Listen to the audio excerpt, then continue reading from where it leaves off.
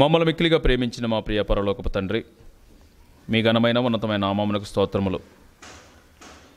మీరిచ్చినటువంటి ఇచ్చినటువంటి శ్రేష్టమైన సమయంలో తండ్రి మీరు రాయించిన జ్ఞాన సంగతులు తండ్రి మాకు నేర్పించండి తండ్రి. మీ మాటలు చదువుతూ ఉన్నప్పుడు తండ్రి మీరు ఏ మనసుతో తండ్రి ఈ మాటలు రాయించారో తండ్రి ఆ మనసును అర్థం చేసుకునేటటువంటి భాగ్యాన్ని మాకు దయచేయండి తండ్రి. భూమి మీద బ్రతికి ఈ కొద్ది కాలంలో తండ్రి మీ మాటలను అపార్థం చేసుకొని ఎందరో తండ్రి మీకు దూరం అయిపోతున్న ఈ తరుణంలో తండ్రి మీ మాటలను తండ్రి అపార్థం చేసుకున్న వారికి తండ్రి అర్థమయ్యేలా తండ్రి మేము వినిపించేటటువంటి మహా జ్ఞానాన్ని తండ్రి మీరు మాకు నేర్పించండి. చెప్పబోయే వాక్యం మా జీవితాల్లో ఫలం తీసుకురావాలని. యేసుక్రీస్తు ప్రభుల వారి అతి పరిశుద్ధమైన నామమున ఈ ప్రార్థన అడిగి వేడుకుంటున్నాము తండ్రి. ఆమెన్. ప్రియమైన దేవుని వారలారా అందరికీ కూడా మరొకసారి మీ అందరికీ యేసుక్రీస్తు నామను శుభాభివందనాలు. మరి ఈరోజు ఒక మంచి అంశాన్ని మనం జీవగ్రంథంలో నుంచి ధ్యానిద్దాం ప్రియులారా. బైబిల్ అనేది దేవుడు రాయించిన మహాజ్ఞాన గ్రంథం. ఈ మహాజ్ఞాన గ్రంథం ప్రపంచ మనుషులకు అర్థమైతే దేవుడున్న మహాలోకంలోని ఎక్కడ వెళ్తారో దేవుడున్న మహాలోకంలోని వీళ్ళు ఎలాగ చేరతారో అని మన విరోధి దేవుని విరోధి అయినటువంటి అపవాది ఈ క్రీస్తు ప్రకాశము ఈ సువార్త ప్రకాశము మన మనోనేత్రాలకు ప్రకాశింపకుండు నిమిత్తము మన మనోనేత్రాలకి గ్రుడ్డితనం కలుగు చేస్తున్నట్టుగా మనం బైబిల్లో చూస్తున్నాం ప్రియమైన వార్లారా. అందుకే ఈరోజు సమాజంలోని ఎందరో క్రీస్తు విరోధులు మరి బైబిల్కు వ్యతిరేకమైనటువంటి రాతలు బైబిల్కు వ్యతిరేకమైనటువంటి భిన్నమైనటువంటి మాటలు సమాజానికి తెలియజేస్తూ ఉన్నారు. ఇలా సమాజానికి తెలియజేస్తూ ఉన్నప్పుడు దేవుణ్ణి ఎరిగిన వారముగా దేవుని మనసు తెలుసుకున్న వారముగా ఆ అజ్ఞానుల నోరు మోయించటం మనకు అవసరం. కనుకనే దేవుడు ఒక మంచి మాట రాయించారండి. పేతురు రాసినటువంటి మొదటి పత్రిక రెండో అధ్యాయము. పేతురు రాసినటువంటి మొదటి పత్రిక రెండో అధ్యాయము. పదిహేనో వచనంలోని ఇది మనందరికీ తెలిసినటువంటి మాట. బాగా ఇష్టమైన మాట కూడా. ఈ మధ్యకాలంలో ఎక్కువగా ఈ మాటను మన వాళ్ళు ఎక్కువగా అనుసరిస్తున్నారు పదిహేనో వచనం చూడండమ్మా. ఏలయనగా మీరిట్లు యుక్త ప్రవర్తన గలవారై అజ్ఞానముగా మాటలాడు మూర్ఖుల నోరు ముయుట దేవుని చిత్తము అని ఉందండి మరలా చదవండి అన్నమాట ఏలయనగా మీరిట్లు యుక్త ప్రవర్తన గలవారై అని అక్కడ బైబిల్లో ఒక నెంబర్ వేసిందండి చూడండి. బైబిల్లో ఒక నెంబర్ ఉందమ్మా మీ బైబిల్లో? ఒక నెంబర్ ఉందా? నా నెంబర్కి అర్థం కింద ఏం రాశారండి? మేలు చేయువారై అని ఉందండి. అజ్ఞానముగా మాటలాడు మూర్ఖుల నోరు మోయుట దేవుని చిత్తమే. అలా అని మన ప్రవర్తన యుక్తమైనదిగా ఉండకుండా జాగ్రత్త పడాలి. మన ప్రవర్తన ఎలా ఉండాలి? చాలా యుక్తంగా ఉండాలి. ఎదుటివాడికి మనం మాట్లాడే మాట ఎదుటివాడిని ఆలోచింపజేయాలే కానీ వాడు అజ్ఞానుడైనా ఎవడైనా సరే వాడిని మన ప్రభు మార్గంలోకి రప్పించే విధంగా ఉండాలి ప్రియమైన వార్లారా. కనుక మనం సమాధానం కలిగి మన ప్రవర్తన చెడిపోకుండా ఎదుటి వారిని అనేక మందిని క్రీస్తులోనికి తీసుకురావాల్సినటువంటి బాధ్యత మన మీద ఉంది. మనం చెప్పడమే మన బాధ్యత. మనం ఎదురాడి దూష దూషణ చేయాల్సిన అవసరం లేదు. ఇందులో భాగంగానే ఒక అపార్థం చేయబడినటువంటి సంగతి మనకు కూడా చాలా అవసరమైనటువంటి సంగతులు. కొన్ని సంగతులు ఈరోజు బైబిల్లో నుండి ధ్యానిద్దామండి. ఇది తెలుసుకునే ముందు యోబు గ్రంథంలోని ఒక ఇంట్రెస్టింగ్ మాట రాయబడిందండి. యోబు గ్రంథం ముప్పై నాలుగో అధ్యాయము. యోబు గ్రంథము ముప్పై నాలుగో అధ్యాయము. ఇరవై రెండో వచనం నుండి చూద్దాం చూడండి ప్రియమైన వాళ్ళు ఇరవై రెండో వచనం నుంచి. ఏంటండి దానికంటే ముందు ఇరవై ఒకటి కూడా చూద్దాము ఇరవై ఒకటి కూడా. ఆయన దృష్టి ఆయన దృష్టి నరుల మార్గముల మీద ఉంచబడి ఉన్నది. మరలా ఆయన దృష్టి నరుల మార్గముల మీద ఉంచబడి ఉన్నది. సీసీటీవీ ఆన్ అయిపోయింది అని అంటే ఒక్కొక్కడు అలర్ట్ అయిపోతాడండి. ఏమండి? మొన్న నేను ఫేస్బుక్లో ఒకటి చూశాను. ఒక వ్యక్తి బైక్ రిపేర్ చేసుకుంటున్నాడు ఏదో పర్సు ఇలా పెట్టుకొని వంగి రిపేర్ చేసుకుంటా ఉన్నాడు. వెనక నుండి ఒకడు వచ్చాడండి. వచ్చేసేసేసి పర్సు కొట్టేసేసాడు. పర్సు కొట్టిండు కొట్టిన వెంటనే అర్థమైపోయింది ఆల్రెడీ అక్కడ సీసీటీవీ ఉందన్న సంగతి. పైన ఒక సీసీటీవీ ఉంది అది రికార్డ్ అవుతా ఉంది. రికార్డ్ అవుతుంది అనగానే చూసి ఆ పర్సు తీసుకున్నాడో తీసుకొని పరిగెత్తాల. కానీ అది చూసిన మరుక్షణం ఈడేం చేశాడో తెలుసు? వెంటనే అక్కడే నిలబడి వాడి వెనకన అటు ఇటు తిరిగి మరలా వాడు వంగినప్పుడు వాడి పర్సు వాడికి పెట్టేసేసి ఇట్ట ఇట్ట దండం పెట్టుకుని వెళ్ళిపోయాడండి. మీరు బాగా గమనించాలా? నాకు చాలా ఆశ్చర్యం అనిపించింది. ఓహో సీసీటీవీ పర్యవేక్షణలో ఉంది అని అంటే ఒక్కొక్కడికి భయం. కానీ సీసీటీవీ కంటే పవర్ఫుల్ మరొక సీసీటీవీ ఆన్ అయింది అని అంటున్నాడు ఇక్కడ దేవుడు. ఇప్పుడు చదవండి ఎంత బాగుంటుంది అన్నమాట? ఆయన దృష్టి నరుల మార్గముల మీద ఉంచబడి ఉన్నది. You are under God's surveillances నువ్వు ఎక్కడ? సీసీటీవీ పర్యవేక్షణలో కాదు దేవుని పర్యవేక్షణలో నువ్వు ఉంచబడ్డావు. ప్రతిదీ ఆయన మానిటర్ చేస్తూనే ఉన్నాడు ప్రియమైన వారు అని ఇక్కడ ఒక మాట అంటున్నారండి. ఆయన వారి నడకలన్నయో సీసీటీవీకి అందని దొరకని రిపోర్టు దేవుని దగ్గర దొరుకుతూ ఉంది దేవుని రిపోర్ట్లో ఎవడో తప్పించుకోలేడు ప్రియమైన వార్లరా. ఆయన వారి నడకలన్నీ కనిపెట్టి చూచుచున్నాడు. దుష్క్రియలు చేయువారు దాగుకొనుటకు చీకటి అయినను మరణాంధకారమైనను లేదు. ఆ, ఒకడు న్యాయ విమర్శలోనికి రాకమునుపు ఒకడు జడ్జి దగ్గరికి కోర్టులోనికి జడ్జి ముందు బోనులోనికి రాకమునుపు బహుకాలము అతనిని విచారణ చేయటం మనకు తెలుసు. ఏమండి? పోలీస్ ఎంక్వైరీ కేసు ఫైల్ చేయాలి ఇన్వెస్టిగేషన్ చేయాలి ఆ రిపోర్ట్లు ఇవ్వాలి ల్యాబొరేటరీ రిపోర్ట్లు రావాలి. ఎన్నెన్నో రిపోర్ట్లు అన్నీ చేసి ఆ తర్వాత ఇన్వెస్టిగేషన్ అంతా ఒక పెద్ద రిపోర్ట్ చేసి ఇది కేసు దేశపై కోర్టులో ఫైల్ చేసి కోర్టులో జడ్జికి టైంను చూసి ఆ తర్వాత జడ్జి గారి ముందు వారెంట్ పంపించి ఆ వారెంట్ వన్ వాడు వచ్చి కోర్టులోని ఎక్కడ ఉండాలి? నిలబడాలి. నిలబడిన తర్వాత న్యాయవాదులు వాదనలు జరగాలి. వాదనలు జరిగిన తర్వాత మరలా అప్పటికి కనుక వివరణ రాకపోతే మరికొంత సమయం ఇస్తారు. న్యాయ న్యాయ- ఎవరు? జడ్జి గారు. కొంత సమయం ఇస్తారు. ఆ తర్వాత మరలా కోర్టులోకి మరలా రావాలి. దేవుడు అంటున్నాడు ఇవి భూమి మీద మనుషులకు మీకు అవసరమేమో కానీ బిడ్డ నాకు మాత్రం ఏం అవసరం లేదు అని అంటున్నాడండి. ఆ పాట చదవండి. ఒకడు న్యాయ విమర్శలోనికి రాకముందు బహుకాలము బహుకాలము అతనిని విచారణ విచారణ చేయుట దేవునికి అగత్యం లేదు. దేవుడు ఎంక్వైరీలు ఏమి ఉండవు. ఎందుకంటే ఆల్రెడీ ఆయన దృష్టి నరుల మార్గముల మీద ఉంచబడి ఉన్నది. ఎవడు మంచివాడో ఎవడు చెడ్డవాడో ఎవడు దేవుని పనికి ఆటంకం కలిగిస్తున్నాడో ఎవడు దేవునికి అనుకూలంగా ఉంటున్నాడు ఎవడు కామపు క్రియలు చేస్తున్నాడో ఎవడు చీకటి పనులలో ఉన్నాడో ఎవడు వెలుగు సంబంధం సమస్తము రిపోర్ట్ అంతా రెడీ అయిపోయింది. కాబట్టి దేవుడికి నో మోర్ ఎంక్వైరీస్ కాబట్టి ఆయన అంటున్నాడు బహుకాలము అతనిని విచారణ చేయుట దేవునికి అగత్యము లేదు. విచారణ లేకుండానే విచారణ లేకుండానే బలవంతులను ఆయన నిర్మూలము చేయుచున్నాడు. వారి స్థానమున ఇతరులను నియమించుచున్నాడు. ఆ, తెలుసుకొనుచున్నాడు.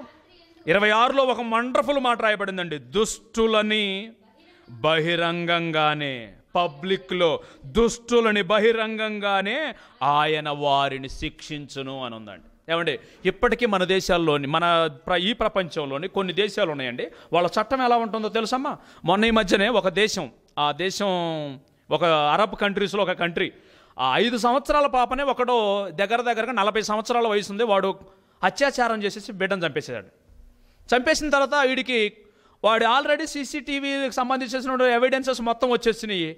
మనలాగా సంవత్సరాల తరబడి వాళ్ళకి ఉండవు. వెంటనే వాడు దోషి అని తెలిసింది దోషి అని తెలిసిన మరుక్షణం శిక్ష అమలు. ఏంటి? మరణ శిక్ష. ఎలా మరణ శిక్ష? అందరూ చూస్తూ ఉండగా అందరూ చూ ఎక్కడో లోపల దేశపై నాలుగు గోడల మధ్య ఊరేసి చంపటం కాదు వాళ్ళు. వాళ్ళు ఏం చేస్తారు? అందరూ చూస్తూ ఉండగా దుష్టుని ఏం చేస్తారు? బహిరంగంగానే శిక్షిస్తారండి. బహిరంగంగా. వాడిని చేతులు కట్టేసేశారు. మోకాళ్ళ మీద కూర్చోబెట్టేశారు. ఒక్కసారిగా వెనక నుంచి ఒక రైఫిల్ తీసుకున్నాడు ఒక అతను. ఏకే ఫార్టీ సెవెన్ గన్ తీసుకున్నాడు. ఒక్కసారిగా కాలుతో తొక్కాడు. తొక్కినమ్మడి కింద పడుతున్నాడు. అటు ఇటు గెలగెలా కొట్టుకుంటున్నారు. ఒక్కసారిగా తీసుకొని నాలుగైదు షాట్స్ తక్కన గుండె మీద పెట్టి పేల్చేసాడు వెనక నుండి. దెబ్బగా చనిపోయాడు. అది కొన్ని శిక్షలు. ఇంకా కొంతమంది ఏం చేస్తారో తెలుసా? హత్యాచారం వ్యభిచారం కనుక ఎవడైనా చేస్తే వ్యభిచారం చేసినటువంటి వాళ్ళని వాళ్ళని పబ్లిక్లోకి తీసుకొచ్చి కళ్ళకు గంతలు కట్టేస్తారు మోకాళ్ళ మీద నిలబెడతారు తల వంచుకోమనంటారు. ఒక వ్యక్తి ఒక వ్యక్తి తన ముఖం కనపడకుండా సమస్తం వస్త్రాలన్నింటి కప్పుకుంటాడు ఒక కత్తిని తీసుకుంటాడు. అందరూ చూస్తూ ఉండగా తల నరికేసేసేసి వెంటనే ఏం చేస్తాడు? ఆ శవాల గుట్టల పక్కన పడేస్తారు ప్రేమైన వాళ్ళు ఒకవేళ దొంగతనం కనుక అయితే అరి అరిచేతులను నరికేస్తూ ఉంటారు అరికాళ్ళను నరికేస్తూ ఉంటారు. ఇవన్నీ మనుషులుగా బహిరంగంగా మనమే శిక్షలు విధిస్తూ ఉంటే దేవుడు అంటున్నాడండి దుష్టులందరినీ ఆయన ఏం చేస్తాడంటమ్మా?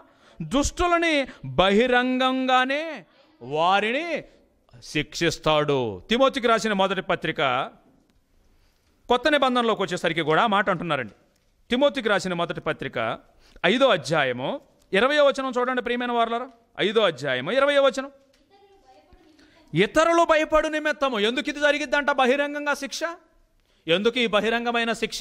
ఇతరులు భయపడాలి ఇంకెవ్వడో కూడా క్రైమ్ చేయాలి అంటే వణికిపోవాలి. అందుకేనండి ఆ దేశాలలో క్రైమ్ పర్సంటేజ్ జీరో పర్సంటేజ్ ఉంటుందండి.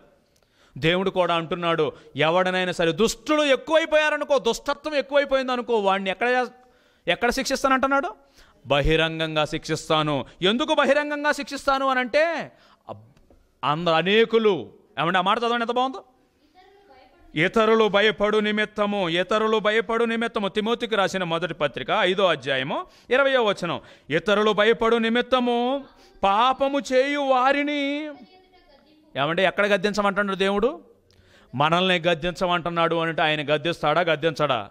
గదెస్తాడు ప్రేమైన వారులారా గదిస్తాడు ప్రేమైన వారులారా తప్పు చేసిన ఏ ఒక్కడిని కూడా ఆయన విడిచిపెట్టడు. ఈరోజు క్రైస్తవ్యానికి వ్యతిరేకంగా క్రీస్తుకు వ్యతిరేకంగా దై దైవ గ్రంథానికి వ్యతిరేకంగా ఎన్నో రాతలు రాస్తున్న వాళ్ళని ఎవరిని దేవుడు విడిచిపెట్టడు. కానీ యుక్త ప్రవర్తనతో వారికి మేలు చేయటం కోసం వారు సాతాను సంఖ్యలలో నుండి ఎదురాడేవాడు ఒకవేళ బాగుపడతాడేమో అన్నటువంటి మంచి ఉద్దేశంతో మీరు మాత్రం జాగ్రత్తగా మేలు చేయటం కోసం దేవుని వాక్యాన్ని చాలా జాగ్రత్తగా వాడండి అని అంటున్నారండి. ఇందులోని అపార్థం చేయబడినటువంటి ఒక సంగతులలోని ఒక సంగతి ఒకనాడు ఇజ్రాయేలీలు ఈజిప్టు అనే దేశంలో ఉన్నారండి. ఏంటండి ఏ దేశం?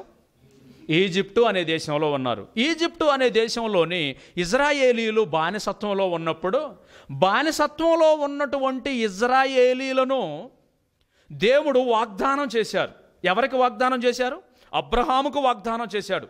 ఆ తర్వాత ఇస్సాకుకు వాగ్దానం చేశాడు. ఆ తర్వాత యాకోబుకు వాగ్దానం చేశారు. మీ పిల్లలు ఇదిగో నేను మీకు వాగ్దానంగా ఇచ్చే ఈ భూమి పాలు తేనెలు ప్రవహించు ఈ దేశంలోనికి వారు వచ్చి ఇక్కడ నివసిస్తారు.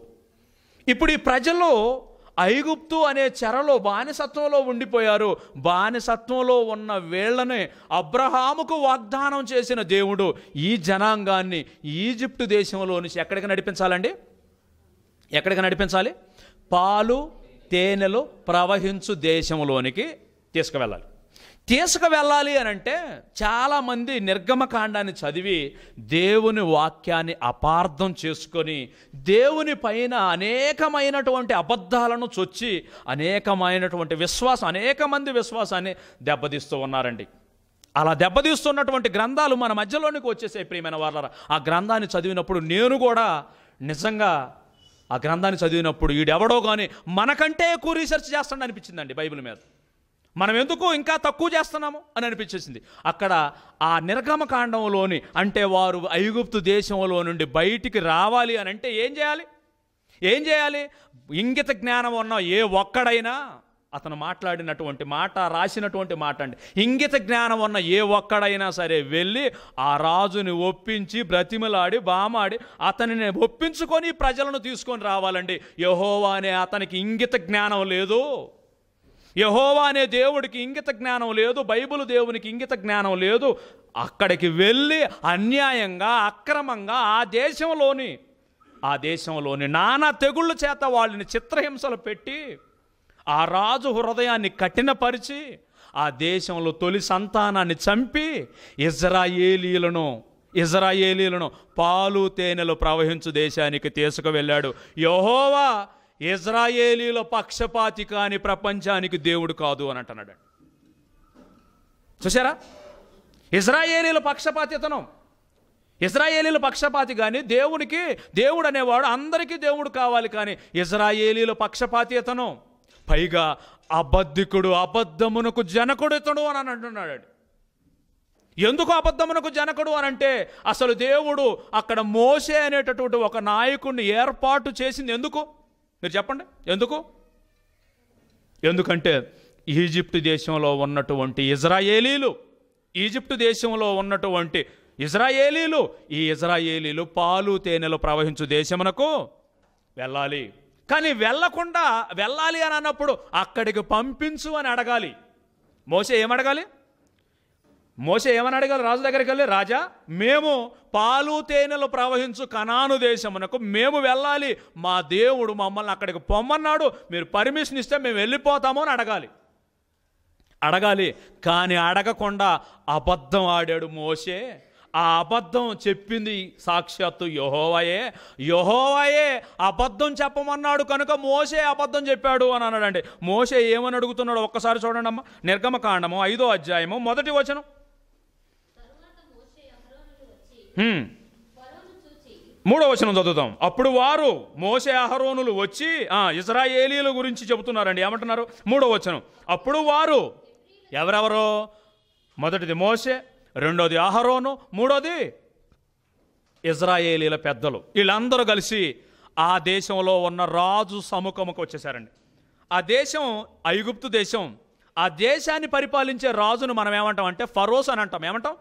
ఫరోస్ అని అంటాం. ఈ ఫరో అనే వాడి దగ్గరకు వచ్చేసారు వచ్చి ఇప్పుడు మోసే ఏం చెబుతున్నాడు చూడండి అక్కడ. వారు హెబ్రియల దేవుడైన మమ్మును హెబ్రియల దేవుడు మమ్మును ఎదుర్కొనిను సెలవైన ఎడల.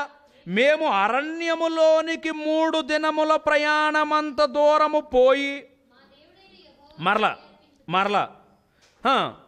మేము అరణ్యములోనికి మూడు దినముల ప్రయాణమంత దూరము పోయి మా దేవుడైన యహోవాకు బలి అర్పించుదము అని అంటున్నారండి. వీళ్ళు ఎక్కడికి పోవాలనుకుంటున్నారు? మూడు దినాల ప్రయాణం వెళ్ళి ఉత్సవం చేయాలనుకుంటున్నారా? ఆల్రెడీ అక్కడ నుంచి ఎక్కేద్దాం అనుకుంటున్నారా? అక్కడ నుంచి ఆల్రెడీ పాలు తేనెలు ప్రవహించు దేశమునకు వెళ్ళాలి అనేది ప్లాను. కాకపోతే ఈ రాజుకు మాత్రం అబద్ధం చెప్పు. ఎందుకంటే రాజు కనుక అందరం చంపేస్తాడేమో అని యహోవాకు కూడా భయం వేసింది అని అన్నాడండి. ఓరే దరిద్రుడా అనుకున్నా నేను? మీకు నిజమే అనిపిస్తుంది కదా? ఈ మాటలు చదువుతూ ఉంటే నాకు ఫస్ట్లో అంతే అనిపించింది. ఓహో అసలు దేవుడు ఎంత గొప్పవాడో మామూలు వాడికి వాడికి అర్థం కాదు బైబుల్. పరిశుద్ధాత్మతో నిండుకున్న వాడికి బైబిల్ని దేవుని ఎదుట పాదాల దగ్గర కూర్చున్న వాడికి ఆయన మనసు ఏదో అర్థమయ్యేలా చెబుతుడు. కానీ ప్రతి అడ్డమైనోడు చదివితే అర్థం కాదు అర్థం కాలేదు కాబట్టే వాడు సాతానికి ఏజెంట్గా మారిపోయాడు. దేవుని మాటలను భిన్నంగా ప్రకటిస్తున్నాడు. ఇప్పుడు మూడు దినముల ప్రయాణం అంత దూరము వెళ్ళి మేము మా దేవునికి ఉత్సవం జరిగించుటకు అరణ్యములోనికి వెళ్ళాలి. అక్కడికి పర్మిషన్ ఇవ్వండి అని అడుగుతున్నారు. దేవుడు ఇదే చెప్పారా? దేవుడు కణాను దేశానికి అని అంటే నాలుగో అధ్యాయంలో దేవుడు ఏం చెబుతున్నారో చూడండి ప్రియమైన వారలారా. నాలుగో అధ్యాయం. మూడో అధ్యాయం చూద్దాం. మూడో అధ్యాయము. మూడో అధ్యాయము పద్దెనిమిదో వచనం నుండి చూడండి పద్దెనిమిదో వచనం నుండి. అప్పుడు మోసతో దేవుడు చెబుతున్నాడండి మోసతో అరణ్యంలోనికి ఇంకా అరణ్యంలో ఎక్కడో హోరేబు కొండ మీద దేవదూత మండుచున్నటువంటి పొదలో ఇద్దరు మాట్లాడుతూ ఉన్నప్పుడు అప్పుడు దేవుడు మోసతో చెబుతున్నాడు నాయన వాళ్ళ మొర నాకు వినపడింది పాలు తేనెలు ప్రవహించు దేశానికి తీసుకువెళ్ళడానికి నేను దిగి వచ్చి ఉన్నాను. దిగి వచ్చేసింది. కానీ నేను చెప్పింది చెప్పినట్టు చెప్పు నాయన. నేను చెప్పింది చెప్పినట్టే చెప్పు. నువ్వేం అబద్ధాలు ఆడాల్సిన అవసరం లేదు. నువ్వేమీ కూడా ఒకటి ఎక్స్ట్రా అవ్వద్దు ఒకటి తక్కువ అవద్దు ఒకటి ఎక్కువ అవ్వద్దు. నేను చెప్పింది చెప్పినట్టు చెప్పు.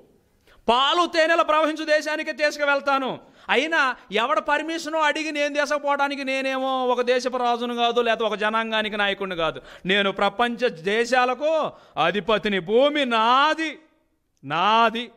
నా ఇష్టం వచ్చినోడి దగ్గరికి ఇస్తాను నా ఇష్టం వచ్చినోడిని ఒక చోట నుంచి ఇంకో చోటకి నడిపిస్తాను. ఎవడ పర్మిషను? నాకు అవసరమో లేనే లేదు ప్రియమైన వారలారా. కనుక ఇక్కడ దేవుడు మోసతో అంటున్నాడండి. మోసతో దేవుడు అంటూ ఏమంటున్నాడు? పద్దెనిమిది. వారు నీ మాట విందురు. నీ ప్రజలు నీ మాట వినరని భయపడుతున్నావా? భయపడాల్సిన అవసరం లేదు. కర్ర దశపై కింద పడేసాయి. పాము అయిపోయింది చూసావా? పట్టుకో. పట్టేసుకున్నాడండి. పాము అయిపోయింది. వెంటనే ఏమన్నాడు నెక్స్ట్? నెక్స్ట్ ఇదిగో నీ చెయ్యిని తీసుకొచ్చి హృదయం మీద పెట్టుకో. చెయ్యి చూసుకో కుష్ఠరోగం వచ్చేసింది. మరలా పెట్టుకో బాగైంది. బాగైంది? ఆ వెరీ గుడ్ నీళ్ళు తీసుకుపోయి కొట్టేసాయి నేల మీద. రక్తం అయిపోయింది. ఇవి తీసుకుపోయి వాళ్ళ ముందు చేయి వాళ్ళు ఫస్ట్ నీ మాట నమ్ముతారు. నీ మాట నమ్మిన తర్వాత నువ్వు రాజు ఎదుటికి పోవాలి. రాజు ఎదుటికి ఫస్ట్ టైం పోయినప్పుడు నువ్వేం చెప్పాలి అని అంటున్నాడు దేవుడు. వారు నీ మాట విందురు. కనుక నీవును ఇజ్రాయేలీల పెద్దలను ఐగుప్తు రాజు నొద్దకు వెళ్ళి అతనిని చూసి హెబ్రియుల దేవుడైన యహోవా మాకు ప్రత్యక్షమాయను. కనుక మేము అరణ్యమునకు దేవుడు ఏం చెప్పమంటున్నాడండి? దేవుడు ఏమని చెప్పమంటున్నాడు మోసతో కరెక్ట్గా చెప్పమన్నదే చెప్పాడా? మోసే ఏమని ఎక్స్ట్రా చెప్పాడా? మోస ఏం అబద్ధం చెప్పలే. దేవుడు ఏం చెప్పాడో అదే కరెక్ట్ చెప్పేశాడు. కరెక్ట్గా చెబుతున్నాడు. దేవుడు ముందు చెబుతున్నాడు. ఎందుకు చెబుతున్నాడో అది అర్థం చేసుకోవాలి కానీ దేవుడు అబద్ధం ఆడాడని ఒక్క మాటలో తేల్చేస్తాడు కదా? చెప్పండి. కనుక ఇక్కడ దేవుడు ఏమంటున్నాడు? దేవుడైన యహోవా మాకు ప్రత్యక్షమాయను. కనుక మేము అరణ్యమునకు మూడు దినముల ప్రయాణమంత దూరము పోయి మా దేవుడైన యహోవాకు బలియు బలిని సమర్పించుదము లెమ్మని అతనితో చెప్పవలెను. అతనితో ఏం చెప్పాలి మోసే మీరందరూ వెళ్ళండి. అతని దగ్గరికి వెళ్ళి మూడు రోజులు ప్రయాణం ఉత్సవానికి మా దేవుడు పంపేయమంటున్నాడు. పంపించు అనను. వాడు పంపించడు నాకు తెలుసు అనను. వాడు పంపాడు వాడు తక్కువడేం కాదు. వాడు పంపాడు. ఎందుకు ఈ మాట చెప్పమన్నాడో తెలుసా? దేవుడికి ఆల్రెడీ ఒక ప్లాన్ ఉందండి. ఆ ప్లాన్ కోసమే ఈ మాట చెప్పమన్నాడు. దేవుడేమో తెలివి తక్కువ వాడు కాదు దేవుడేమో అన్యాయస్తుడు కాదు దేవుడేమో ఎవరి పక్షాన ఉండే ఒక పక్షపాతి కాదు. దేవుడికి ఆల్రెడీ ఈ దేశంలోని ఒక పని ఉంది. ఆ పనిని నెరవేర్చాలి అని అంటే ఆ పనిలో భాగంగా మోసే ఒక్కొక్క స్టెప్ చెప్పాలి. అందుకోసమే దేవుడు అన్నాడు. ఎందుకు చెప్పమన్నాడు తర్వాత వచనంలో చూడండి ప్రియమైన వారులరా? ఐగుప్తు రాజు మహాబలముతో మీ మీదికి వచ్చి మిమ్మను పోనీయడని నాకు ముందే తెలుసు. మిమ్మల్ని పోనేడో వాడు పోనేడో వాడు పోనీయకుండా ఉండాలి అసలు వాడు? వాడు ఒకళ్ళు పోనేద్దాం అని అనుకున్నా నేను పోనీయకుండా వాడిని కఠినపరుస్తా అంటాడు తర్వాత వచనాలలో. ఒకవేళ వాడు పోనేద్దాం అని అనుకున్నా కూడా ఇక్కడ ఆల్రెడీ నాకు ఒక ప్లాన్ ఉంది. ఏంటి ఆ ప్లాను? మిమ్మల్ని పోనీయడని నేను ఎరుగుదును. కానీ కానీ నేను నా చెయ్యి చాపి నేను నా చెయ్యి చాపి ఐగుప్తు మధ్యమున నేను చేయదలచి ఉన్న నా అద్భుతములన్నింటినీ చూపి దానిని పాడు చేస్తాను అని అన్నాడండి. దేవుడే ఒక దేశానికి విరుద్ధంగా ఒక మాట మాట్లాడుతున్నాడంటే ప్రియమైన వారలారా ఎంత దారుణం అండి. ఐగుప్తు అనే దేశం గురించి దేవుడు పలుకుతున్నటువంటి మాట ఏంటో తెలుసా? ఏమంటున్నాడు? నేను దీనిని పాడు చేస్తాను. ఒక దేశాన్ని దేవుడు ఎందుకు పాడు చేస్తాడండి? చెప్పండి. దేవుడు ఎందుకు పాడు చేస్తాడు? దేవుడు పాడు చేస్తున్నారంటే ఈ దేశం ఏదో చెయ్యరాని ద్రోహకార్యం దైవ ద్రోహం చేసింది. దేవునికి విరుద్ధంగా ఈ దేశంలో ఏదో జరిగింది. అది జరుగుతుంది కాబట్టే ఈ దేశం మీదకి దేవుని శిక్ష రావాలి కాబట్టి ఆ శిక్ష అమలయ్యేంత వరకు అమలయ్యేంత వరకు నేను చెప్పిన మాట చెప్పినట్టుగా చెప్పిన ఆయన. మొదటి స్టెప్ నువ్వు వెళ్ళి మూడు రోజులు పర్మిషన్ అడుగు. వాడెవ్వడో ఇప్పుడు నేను చేయాల్సిన కార్యక్రమాలు ఉన్నాయి. అవి ఒక్కొక్కటి నేను చేస్తూ ఉంటాను అని అన్నాడు. కరెక్ట్ ప్లాన్లో వెళ్తున్నాడా దేవుడు? ప్లాన్ లేకుండా వెళ్తున్నాడా? దేవుడు ఏది చేసినా పక్కా ప్లాన్ ఉంటుందండి. పక్కా ప్లాన్ ఉంటుంది. అర్థం కానోడికి మూర్ఖులకి ఏం చెబుతాం? ఏం చెప్పలేం. ఇక్కడ చాలా ప్లాన్ ప్రకారం అంటున్నాడు. నేను నా చెయ్యి చాపి ఐగుప్తు మధ్యమును నేను చెయ్యదలసి ఉన్న నా అద్భుతములు. ఇది మోసే మాయలు కాదు ఇవి. మోసే మాయలు కాదు ఇవి నా అద్భుతములు. అసలు మాయల ప్రపంచంలో ఏ ఒక్కడికి తెలియదు ప్రియమైన వారలారా. తెలియదు. నేను చెయ్యదలిసి ఉన్నటువంటి నా అద్భుతములన్నింటిని చూపి దానిని పాడు చేసేదను. అటు తరువాత అతడు మిమ్మును పంపివేయను. అప్పటి వరకు వెయిట్ చేయి. చెప్పింది చెప్పినట్టుగా పోయి. నేనేం మాట్లాడతానో అదే చెప్పు. వెళ్ళేది మాత్రం కరెక్ట్ అక్కడికే. కానీ ఈడి బోడి పర్మిషన్ ఈడి తీసుకోవాల్సిన అవసరం నాకు లేదు. వీడెవడం? అసలు ఈయన్ని రాజుగా పెట్టిందే నేను. ఈడు సింహాసనం మీద కూర్చోవాలంటే నా భిక్ష అది. నేనిచ్చిన గాలి నేనిచ్చిన భూమి నేనిచ్చిన సమస్తం ఈడు తీసుకొని ఈడు పర్మిషన్ నేను తీసుకోవాలా? ఏ ఎవడ పర్మిషనో ఆయన తీసుకోవాల్సిన అవసరం లేదు ప్రియమైన వారు. కానీ ఈ దేశం పాడు చేయటానికి దేవుడు డిసైడ్ అయిపోయాడు. ఏ దేశాన్ని దేవుడు పాడు చేస్తాడు అని అంటే హెచ్కేలు గ్రంథము పద్నాలుగో అధ్యాయంలోనే ఇంకొక మాట అంటున్నాడండి. ఆయనకి మన తన అనే భేదమేమి లేదు. అందరూ ఆయన వాళ్ళే. పాపము చేసే ఏ ఒక్కడిని విడిచిపెట్టడో. చివరికి ఇజ్రాయేలీలు కూడా తర్వాత కాలాల్లో పాపం చేస్తే వాళ్ళ గురించి దేవుడు అంటున్న మాట ఏంటో చూడండి. హెచ్కేలు గ్రంథము పద్నాలుగో అధ్యాయము పదమూడో వచనంలో ఏమంటున్నాడు? నరపుత్రుడా ఏ దేశమైతే విశ్వాసఘాతకమై నా దృష్టికి పాపము చేసినదో అది నేను ఏర్పాటు చేసుకున్న దేశమైనా పర్వాలేదు అది అన్యుల దేశమైనా పర్వాలేదు ఏ దేశమైనా పర్వాలేదు అన్ని దేశాలు నాయే భూమి మొత్తము నాదే సమస్తము ప్రజలు నా వాళ్ళే ఎవడు పాపం చేసినా కూడా నేను సహించేవాడిని కానే కాదు. ఏ దేశమైతే విశ్వాసఘాతకమై నా దృష్టికి పాపము చేసినదో దానికి నేను విరోధిని అని అంటున్నాడండి. ఇప్పుడు విరోధి ఐగుప్తు దేశానికి దేవుడు విరోధైపోయాడు. ఆ దేశంలో తన చెయ్యి చాపి అక్కడ ఏదో అద్భుతాలు చేయాలి అని అనుకుంటున్నాడు. అందులో భాగంగానే మోసేను నడిపించాడు. మోసే అక్కడికి వచ్చాడు. తాను తాను దేవుడు చెప్పినటువంటి అద్భుతాలు మూడు అద్భుతాలను చేశారు. చేసిన తరువాత అక్కడికి వెళ్ళి అడిగారండి. అడిగిన వెంటనే ఇప్పుడు రాజు ఏమంటున్నాడు? ఒక్కసారి మరల చదవండమ్మా. వీడికి ఎంత నోటితోలో నిర్గమకాండం ఐదో అధ్యాయము. అమ్మా నిర్గమకాండము ఐదో అధ్యాయము? మొదటి వచనం చూద్దామమ్మా మొదటి వచనం. ఫరోను చూసి ఇజ్రాయేలీల దేవుడైన యహోవా అరణ్యములో నాకు ఉత్సవం చేయుటకు నా జనమును పోనిమ్మని ఆజ్ఞాపించుచున్నాడు. వీళ్ళు మాట్లాడే మాట ఎట్టుందంటే ఇజ్రాయేలీల దేవుడైన యహోవా దేవుడైన యహోవా మా దేవుడు దేవుడు దేవుడు బొమ్మంటున్నాడు. దేవుడు బొమ్మంటున్నారంటే ఈడేమనాలా? కనీసం కొద్దిగా మర్యాద ఉండాలిగా? వాళ్ళు దేవుడు అని నోరారా వాళ్ళు చెబుతూ ఉంటుంటే ఈ దరిద్రుడు ఏమంటున్నాడు? ఇదే నోటితోలంటే అర్థమైందా? ఈడు ఏమంటున్నాడు? ఆ, ఫరో నేను అతని మాట విని ఇజ్రాయేలీలను పోనిచ్చుటకు యహోవా ఎవడో? ఎవడా యహోవా? ఎవడా యహోవా? వాడు చెప్తే నేను పంపించాలా ఎంత నోటితోలంటే ఎంత నోటితోల ఏమంటారు? ఒక అసలు కనీసం గౌరవం ఎత్తనడా? కనీసం గౌరవం ఇస్తానడా యహోవా ఎవడో? ఇప్పుడు వీడికి నిజంగా మూడిందనమాట దేవుడు అందుకే ముందు చెప్పాడు నాయన నువ్వు పోయి చెప్పు వాడు బోనేడు అన్న సంగతి నాకు తెలుసు. ఇక్కడ మనం కొన్ని చేద్దాం మోసే. ఎందుకు చేద్దామో తెలుసా? బహిరంగంగా దుస్తులను శిక్షించేటప్పుడు అనేకులు భయపడాలి. అందుకోసమే ఈ కార్యక్రమాలు. అనేకులు భయపడాలి అని అంటే దుష్టుణ్ణి ఎక్కడ కొట్టాలి? బహిరంగంగా గద్దించాలి బహిరంగంగా శిక్షించాలి. అనేకులు భయపడాలి. ఐగుప్తులో జరుగుతున్న ప్రతి అద్భుతం దేవుడు చేస్తున్న ప్రతి మహత్కార్యము ప్రపంచ దేశాలకు వార్నింగ్ అండి. వాళ్ళు బుద్ధి కలిగి మారటానికి వాళ్ళు భయం కలిగి ఉండటం కోసం దేవుడు చేస్తున్న అద్భుతమే కాని ప్రియమైన వాళ్ళరా వీళ్ళు ఏదో పాపం చేశారు ఏదో దేవునికి విరోధమైన కార్యాలు చేశారు. ఇక్కడ దేవుడు ఆల్రెడీ ప్లాన్ గీశాడు. ప్లాన్ గీశాడా? ఇక్కడ ఆల్రెడీ అద్భుతాలు చేస్తాను. నా చెయ్యి చాపి ఐగుప్తు మధ్యమున అని అన్నాడండి. ఇందులో భాగంగానే ఇక్కడ పది తెగుళ్ళు తెచ్చాడు మీ అందరికీ తెలుసు. ఇక్కడ మన వాళ్ళు కూడా అమ్మ చాలామంది ఏమనుకుంటున్నారంటే ఆ దేశంలోని శకునకాండ్రు ఉన్నారు వాళ్ళు నిజంగా వండర్స్ చేశారండి ఇప్పటికీ మాయలు ఉన్నాయండి అని అనుకుంటున్నారండి. ఎప్పటికీ మాయలు ఉన్నాయి అనుకుంటున్నారు. వాళ్ళ మాయలు ఏందో ఇప్పుడు తేల్చేద్దాం అసలు. అమ్మా మొదటిసారి అక్కడికి వెళ్ళిన వెంటనే నువ్వు దేవుడు పొమ్మంటున్నావు అని అన్నావు కదా. మోసే చెప్పు నీ శక్తి ఏంటో నా ముందు చూపించాను అన్నారండి.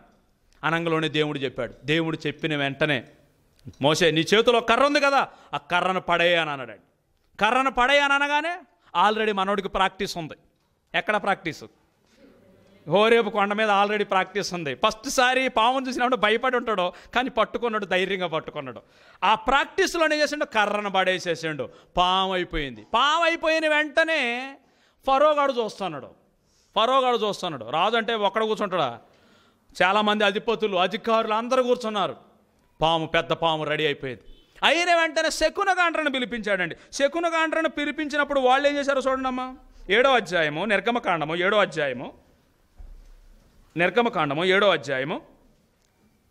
ఎనిమిదో వచనం నుంచి మరియు యహోవా మోసే ఆహరణలతో ఇట్లా నేను ఫరో మీ శక్తి చూపుటకై ఒక మహత్కార్యము కనపరుచుడని మీతో చెప్పినప్పుడు నీవు అహరోనును చూసి నీ కర్రను పట్టుకొని ఫరో ఎదుట దానిని పడవేయమని. ఆ అనుము అది సర్పమగును. కాబట్టి మోసే ఆహరోనులు ఫరో యొద్దకు వెళ్ళి యహోవా తమకు ఆజ్ఞాపించినట్లునా? లేకపోతే మోస తనకు నచ్చినట్లునా? దేవుడు చేస్తున్న అద్భుతాలా? లేకపోతే మోస చేస్తున్న మాయాజాలాలా ఇవి? మోసకి ఏం తెలుసు పాపం? మోసకి ఏం తెలియదు కర్ర అంటే కర్ర వేస్తాడు పట్టుకో అంటే పట్టుకుంటాడు. అంతకుమించి మోసకి ఏం తెలియదు వెంటనే దేవుడు చెప్పినట్టుగా ఏం చేశారు? వెంటనే చేసిరి చేసిరి. అహరోను ఫరో ఎదుటను అతని సేవకుల ఎదుటను తన కర్రను పడవేయగానే అది సర్పమాయను. అప్పుడు ఫరో తన విద్వాంసులను మంత్రజ్ఞులను పిలిపించను. ఐగుప్తు శకునగాండ్రు కూడా? శకునగాండ్రు కూడా? ఏమంటే ఐగుప్తు శకునగాండ్రు కూడా తమ మంత్రముల చేత అలాగు చేసిరి. వాట్ ఏ వండర్ఫుల్ వావ్ ఏంటి? ఏళ్ళ దగ్గర మంత్రాలతో కూడా ఏం చేశారంటమ్మా? కర్రని పాముగా చేసేసారు కర్రని అంటే మంత్రాలు ఉన్నాయా? ఉన్నాయి కదండి? ఉన్నట్టుగానే అనిపిస్తుంది ఇక్కడ. ఉన్నట్టుగానే అనిపిస్తుంది. కర్రలన్నీ ఏమైపోయినాయి ఇప్పుడు? ఒక కర్ర కాదు. వాళ్ళు మంత్రాలు చదివారు. మంత్రాలు చదివిన వెంటనే శకునం శకునం. జాతకం చెప్పేటోళ్ళు అంటారు కదండి? ఒక్కొక్కరు అప్పుడప్పుడు చిలకన వేసుకొని వస్తారు. చిలకన వేసుకొని వస్తాడు వాడి జాతకం బాగలేకనే సంకన చిలక వేసుకొని తిరుగుతుండు. నీ జాతకం ఏం చెబుతాడు ఇక నీకు? అవునా కదా? వాడి జాతకం బాగుంటే వాడు ఇంక చిలకన చిలకన గాలిలో ఇడిచిపెట్టి ఈడు ఎక్కడో ఏదో పనిలో ఉండేటోడే. వాడికి ఏ పని లేదు. వాడికి ఏ వాడి జాతకం బాగాలేదు కాబట్టి దీన్ని పట్టుకొని తిరుగుతుండు. వాడేదో నీకు చెబుతున్నాడని వాడి చుట్టూ నువ్వు తిరుగుతున్నావు అవునా? ఇక్కడ మంత్రం చేత ఏం చేశారంట వాళ్ళు? కర్రలో పాములుగా మార్చేశారంట. అప్పుడు ఏమైపోయింది చూడండి ప్రియమైన వారులారా?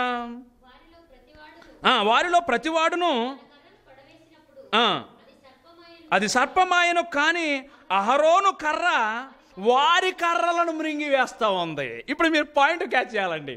ఆల్రెడీ అహరోను గారి కర్ర ఆల్రెడీ పాము అయిపోయింది వాళ్ళ కర్రలు కూడా పాములు అయిపోయినాయి ఇప్పుడు వాళ్ళ పాములు ఇటు పక్క ఉన్నాయి మనోడి పాము ఇటు పక్క ఉంది. ఈ పాము ఏం చేస్తుంది ఇప్పుడు?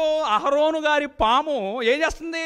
ఇది పోయి టపా టపా టపా ఒకటి మింగేస్తా మింగేస్తున్నప్పుడు శకును కాండ్రు ఏం చేయాలా? ఒరే ఆగరరే ఒరే దరిద్రుడు ఆగ నా కర్రలని మింగుతుంది. లాగండ్రరే అనారా లాగుదామంటే కరిసిద్దేమో. ఇది ఒక భయం. ఎంతకో ఈ కర్రలు ఎందుకు పాములు అయినాయో ఎవడికి తెలియదు. ఏమండి? బాగా ఆలోచించాల ఆలోచించాలా? ఒక శకునగాండ్రు కర్రలను పాములుగా మార్చారు. ఆ పాములను కళ్ళ ముందు ఇది మింగేస్తా ఉంది. ఇది మింగేస్తా ఉన్నప్పుడు ప్రియమైన వారలాలు ఏం చేయాలి ఇప్పుడు? ఏం చేయాలి అర్థం కాక సైలెంట్గా కూర్చున్నారండి. సైలెంట్గా కూర్చున్నారు. ఇది మొదటి అద్భుతం జరిగింది. వాళ్ళ దారి వాళ్ళు వెళ్ళిపోయారండి. తరువాత దేవుడు చెప్పాడు ఎప్పటి నుంచి పది తెగుళ్ళు ఈ దేశం మీదకి రప్పించబోతున్నాను చూశాడు కదా మొదటిసారి నీ శక్తి ఏంటో చూశాడు కదా? ఇప్పుడు ప్రతి ప్రతిదీ కూడా ఈ దేశంలో జరగబోయే తెగులు ప్రపంచ దేశాలకు వార్నింగ్. ప్రపంచ దేశాలకు వారిని కాబట్టి నీ కర్రని దశకుపోయి ఈ ఏటి మీద ఈ కాలవల మీద ఈ చెరువుల మీద ఈ నదుల మీద చూపించే మొత్తం నీళ్ళన్నీ కూడా ఏమైపోతాయి? మొత్తం రక్తం అయిపోద్ది. అక్కడ లోపల రక్తం అయిపోవటం వల్ల లోపల ఉన్న చేపలు మొత్తం చచ్చిపోతాయి. కంపు కొడుతూ ఉంది. ఈ కంపు వీళ్ళు తట్టుకోలేని కంపు. ఇప్పుడు నీళ్ళు లేవు. ఏమంటే నీళ్ళు అప్పుడు ఏం చేశారో చూడండి అమ్మా ఏడో అధ్యాయము. ఏడో అధ్యాయము ఇరవై ఒకటో వచనం. ఏటిలోని చేపలు చచ్చాను చచ్చిపోయినాయా? ఆల్రెడీ అయిపోయినాయి. నెక్స్ట్. ఏరు కంపు కొట్టెను. ఐగుప్తీయులు ఏటి నీళ్ళు త్రాగలేకపోయిరి? ఐగుప్తు దేశమందంతటా రక్తము ఉండెను రక్తము ఉండెను. ఎవరి మాట మూలంగా అండి జరిగేది? దేవుడు చెప్పిన ఒక్క మాటకి దేశంలో ఉన్న నీళ్ళు నీళ్ళు మొత్తం రక్తం అయిపోయింది పాత్రలు కొండలు ఏమీ లేవు స్నానం చేద్దామంటే నీళ్ళు లేవు. బట్టలు ఉతుక్కుందామంటే నీళ్ళు లేవు. ముఖం కడుక్కుందామంటే నీళ్ళు లేవు. బ్రష్ చేద్దామంటే నీళ్ళు లేవు. గిజగిజలాడిపోయారండి దేశం. అప్పుడు రాజు హృదయాన్ని ఆల్రెడీ కఠినపరుస్తాను అన్నాడా? ఒకసారి ఆ మాట కూడా చూద్దాం చూడండి. నిర్గమకాండము నాలుగో అధ్యాయంలోనే ఆ మాట అన్నాడండి దేవుడు. నిర్గమకాండము నాలుగో అధ్యాయము ఇరవై ఒకటో వచనం. అప్పుడు యహోవా మోషేతో ఇట్లా నేను నీవు ఐగుప్తునందు తిరిగి చేరిన తరువాత చేయుటకు నేను నీకిచ్చిన మహత్కార్యములన్నీ ఫరో ఎదుట చేయవలను సుమి. అయితే నేను అతని హృదయమును కట్టిన పరిచెదను. నేను అతని హృదయమును కట్టిన పరిచెదను. వాడు మారు మనసు పొందడానికి ఛాన్స్ లేదు ఇక. వాడికి మారటానికి లేదు. వాడి హృదయాన్ని కట్టిన పరిచేస్తాను. ఏమంటే దేవుడు ఎందుకండి ఇంత ఇంతగా ఒక వ్యక్తి గురించి దేవుడు ఎందుకండి ఇంత దారుణంగా మాట్లాడుతున్నాడు? వీడు ఏదో చెయ్యరాని ద్రోహ కార్యాలు చేశారు కాబట్టి దేవుడు వీడి గురించి ఇంత దారుణంగా మాట్లాడుతున్నాడు. అందుకే మీకు ముందుగా చదివించానమాట ఒకడు న్యాయ విమర్శలోనికి రాకమునుపు వాడిని పదే పదే ఎంక్వైరీలు చేయాల్సిన పని దేవుడికి అవసరం లేదు. వీడి గురించి అనేక ఎంక్వైరీలు చేయాల్సిన అవసరం లేదు. దేవుడి దృష్టికి సమస్తము మొత్తం వాడి సీక్రెట్స్ అన్ని చూశాడు. వీడి బుద్ధి ఎలాంటిది? కాబట్టి వీడికి ఏదో జరగాలి. వీడికి జరిగే ప్రతి పనిష్మెంటు ప్రపంచంలో ఉన్న ప్రతి ఒక్కడికి భయం కలగాలి. కాబట్టి వాడికి భయం కలగాలి అంటే వీడిని గట్టిగా కొట్టాలి. ఏమండి క్లాసులో టీచర్ ఉంటారండి. టీచర్ ఏం చేస్తారు తెలుసా? ఒక్కడిని గట్టి కొడతారండి. ఏమండి అవునా కదా? ఎవరిని కొడతారు? ఎవడైతే మరీ ఎగిరెగిరి పడతాడో ఓవర్ చేస్తాడో వాడిని ఒక్క తీత తెస్తారు. ఒక్క తీత వాడిని కొడితే క్లాస్ మొత్తం సెట్ అయిపోద్ది. ఇంకెవ్వరు కూడా మాట్లాడరు. అవునా కదా? అందరం కొట్టాల్సిన అవసరం ఒక్కడిని గట్టి కొడతారు. అంతే. ఇక్కడ కూడా దేవుడు ఈయన్ని ఒక్కడిని కొడితే మిగిలిన దేశాలన్నీ సెట్ అయిపోవాలి అని అనుకున్నాడండి. ప్రపంచంలో అప్పటికి అసలు దేవుడు భయం లేకుండా ప్రపంచం అంతా విగ్రహారాధనతో నిండిపోయి రక్తబలి పసి పసిబిడ్డలని బలిగా ఇస్తున్న రోజులు ప్రియమైన వారు ఆ రోజులలో. ఆ రోజులలో నిజమైన దేవుడు అంటే కనుమరుగైపోయినటువంటి ఆ రోజులలో బొమ్మలకు మొక్కుతున్నటువంటి ఆ రోజులలో దేవుడు నిజమైన దేవుణ్ణి అని నిరూపించుకోవటం కోసం నిరూపించుకోవటం కోసం. ఎవడికి చెబితే వింటున్నాడో ఎవడో వినే పరిస్థితిలో లేడు. కాబట్టి దేవుడు తాను చేయదలిచినటువంటి మహత్కార్యాలు ఈ దేశంలో చేయాలనుకుంటున్నాడు. అందుకోసమే ఈ రాజు అనేవాడు ఎంత దుర్మార్గుడో. దుర్మార్గుడు కాబట్టి ఏం చేస్తున్నాడు దేవుడు? దుర్మార్గుడు కాబట్టి ఈడి హృదయాన్ని కఠినపరుస్తున్నాడు మంచోళ్ళని ఎందుకు కఠినపరుస్తాడండి ఆయన? మంచోళ్ళని ఎందుకు కఠినపరచడు మోసాన్ని కఠినపరచలేదే. లేకపోతే ఇంకొకరిని కఠినపరచలేదు. ఎవరిని కఠినపరచకుండా ఇతన్ని ఎందుకు కఠినపరిచాడు? ఈడేదో చేశాడనమాట ఈడేం చేశాడో లాస్ట్లో చెప్తాను మీకు. ఆ తర్వాత ఏమంటున్నాడు నేను కఠిన పరిచతును అతడు జనులను పోనీయడు. అతడు జనులను పోనీయడు. కాబట్టి ఇప్పుడు ఆ దేశంలో ఇంకా ఆల్రెడీ ఎంటర్ అయ్యాడు దేవుడు. ఆ దేశంలో దేవుడు ఎంటర్ అయ్యాడు. అక్కడ అద్భుతాలు స్టార్ట్ అయినాయి. ఏరు ఏరు మొత్తం కూడా చేపలు చనిపోయినాయి. రక్తం అంతా కూడా దేశంతో నిండిపోయింది. రక్తం అంతా నీళ్ళన్నీ రక్తంగా మార్చబడ్డాయి. ఇప్పుడు రాజుగారి పక్కన ఆల్రెడీ ఉన్నారుగా డబ్బారాయిళ్ళు? ఎవరాళ్ళు? వాళ్ళు శకునగా అంటారు. శకునుగా అంటారు రంగంలో దిగారండి. చూడండి ఇప్పుడు మరలా ఏడో అధ్యాయం. ఏడో అధ్యాయం. ఇరవై రెండు. ఐగుప్తు శకునుగాండ్రు కూడా. వావ్. ఐగుప్తు శకునుగాండ్రు కూడా. తమ మంత్రముల వలన అట్లు చేయగా యహోవా చెప్పినట్లు ఫరో హృదయము కట్టిన మాయను ఏం చేశారంట వాళ్ళు కూడా? వాళ్ళు నీళ్ళని ఏం చేశారమ్మా? వాళ్ళు రక్తంగా మార్చేశారంట. వండర్ఫుల్ అండి. వాళ్ళ మంత్రాలు పనిచేస్తున్నాయి అనమాట అయితే. పనిచేస్తున్నాయా? పనిచేస్తున్నాయి అనమాట మంత్రాల వల్ల కర్రలు ఏమైపోయినాయి? పాములు అయిపోయినాయి. మంత్రాల వల్ల నీళ్ళు ఏమైపోయినాయి? రక్తంగా మార్చబడింది. ఇప్పుడు ఇప్పుడు రక్తం అంతా నిండిపోయింది దేశంలోని. ఇప్పుడు రక్తం మరలా నీళ్ళుగా మార్చే శక్తి ఎవరికి ఉండాలా? ఏ మంత్రం చేతనైతే నీళ్ళను రక్తంగా మార్చారో రివర్స్ మంత్రం చదవాలి కదా ఇప్పుడు. అంటే రివర్స్ మంత్రం మర్చిపోయిన రాజుగారు అని అన్నారు. వారే దరిద్రుడ పారా. రివర్స్ మంత్రం మర్చిపోయిన అండి అని అన్నారు. ఎవరిని అడుగుతున్నారు? మోసేని అడుగుతున్నారు. నాయన మోసే నువ్వే కొంచెం బతిలాడు నాయన. ఇక్కడ మా పరిస్థితి చాలా దారుణంగా ఉంది. నాలుగు రోజులు అయింది స్నానం చేసి. ఏం ఒళ్ళంతా చెమ చెమట కంపరా నాయన. రాజుగా ఉన్నా కూడా చెంట్లని ఎన్ని రోజులని పూసుకుంటావు? కాబట్టి ఆయన అడుగుతూ ఉన్నారు ప్రియమైన అద్భుతాలలో అద్భుతాల్లో నెంబర్ వన్. ఏ నీరు రక్తంగా మార్చబడటం. నెక్స్ట్ ఏం చేస్తున్నారు చూడండి నెక్స్ట్ నెక్స్ట్ ఎనిమిదో అధ్యాయము. ఎనిమిదో అధ్యాయము. నాలుగో వచనం అండి నాలుగో వచనం. ఆ కప్పలు నీ మీదికిని నీ జనుల మీదికి నీ నీ సేవకులందరి మీదికి నీ వచ్చునని యహోవా సెలవిచ్చుతున్నాడు నెక్స్ట్ సైన్యం బయలుదేరింది. ఎక్కడి నుండి? దేవుడు ఒక్క మాట చెబితే ఏదో మీటింగ్కి బయలుదేరినట్టుగా లారీలు పెడితే బస్సులు పెడితే ట్రాక్టర్లు పెడితే బయలుదేరిన వాళ్ళు కప్పలు ఎంత ఎన్ని అడుగులు వస్తాయండి? నువ్వు వేసే ఒక్క అడుగు అది నాలుగు సార్లు ఎగలాల పాపం. మొత్తం బయలుదేరి యాడికి పోతున్నావు అని పక్క అప్పని అడిగితే దేవుడి మీటింగ్ ఉంది. ఎక్కడ? ఐగుప్తు దేశంలో మీటింగ్ ఉంది. కమాన్ బయలుదేరండి. నువ్వు రావటం లేదా? నెట్టుకుంటూ రాండి రాని మొత్తం బయలుదేరానండి ఈ కప్పలు ఆ దేశంలో ఇంతకు ముందు ఎప్పుడు చరిత్రలో రానటువంటి కప్పలు. దేవుడు చెప్పిన ఒక్క మాటకు ఇన్నొచ్చాయా? కప్పల కంటే కప్పలను తిన్నాము మనం. చాలామంది ఇప్పటికే కప్పలను తింటనే ఉన్నారు దరిద్రులు. కప్పల కంటే ఎంత శ్రేష్టమైన వాడు? మనిషి. మనిషికి చెబితే వత్తడా? పాంప్లెట్లు ఇస్తే ఎవడన్నా వత్తడా? మీటింగులు వెళితే ఎవరైనా వస్తాడా? ఎవడూ రాడండి.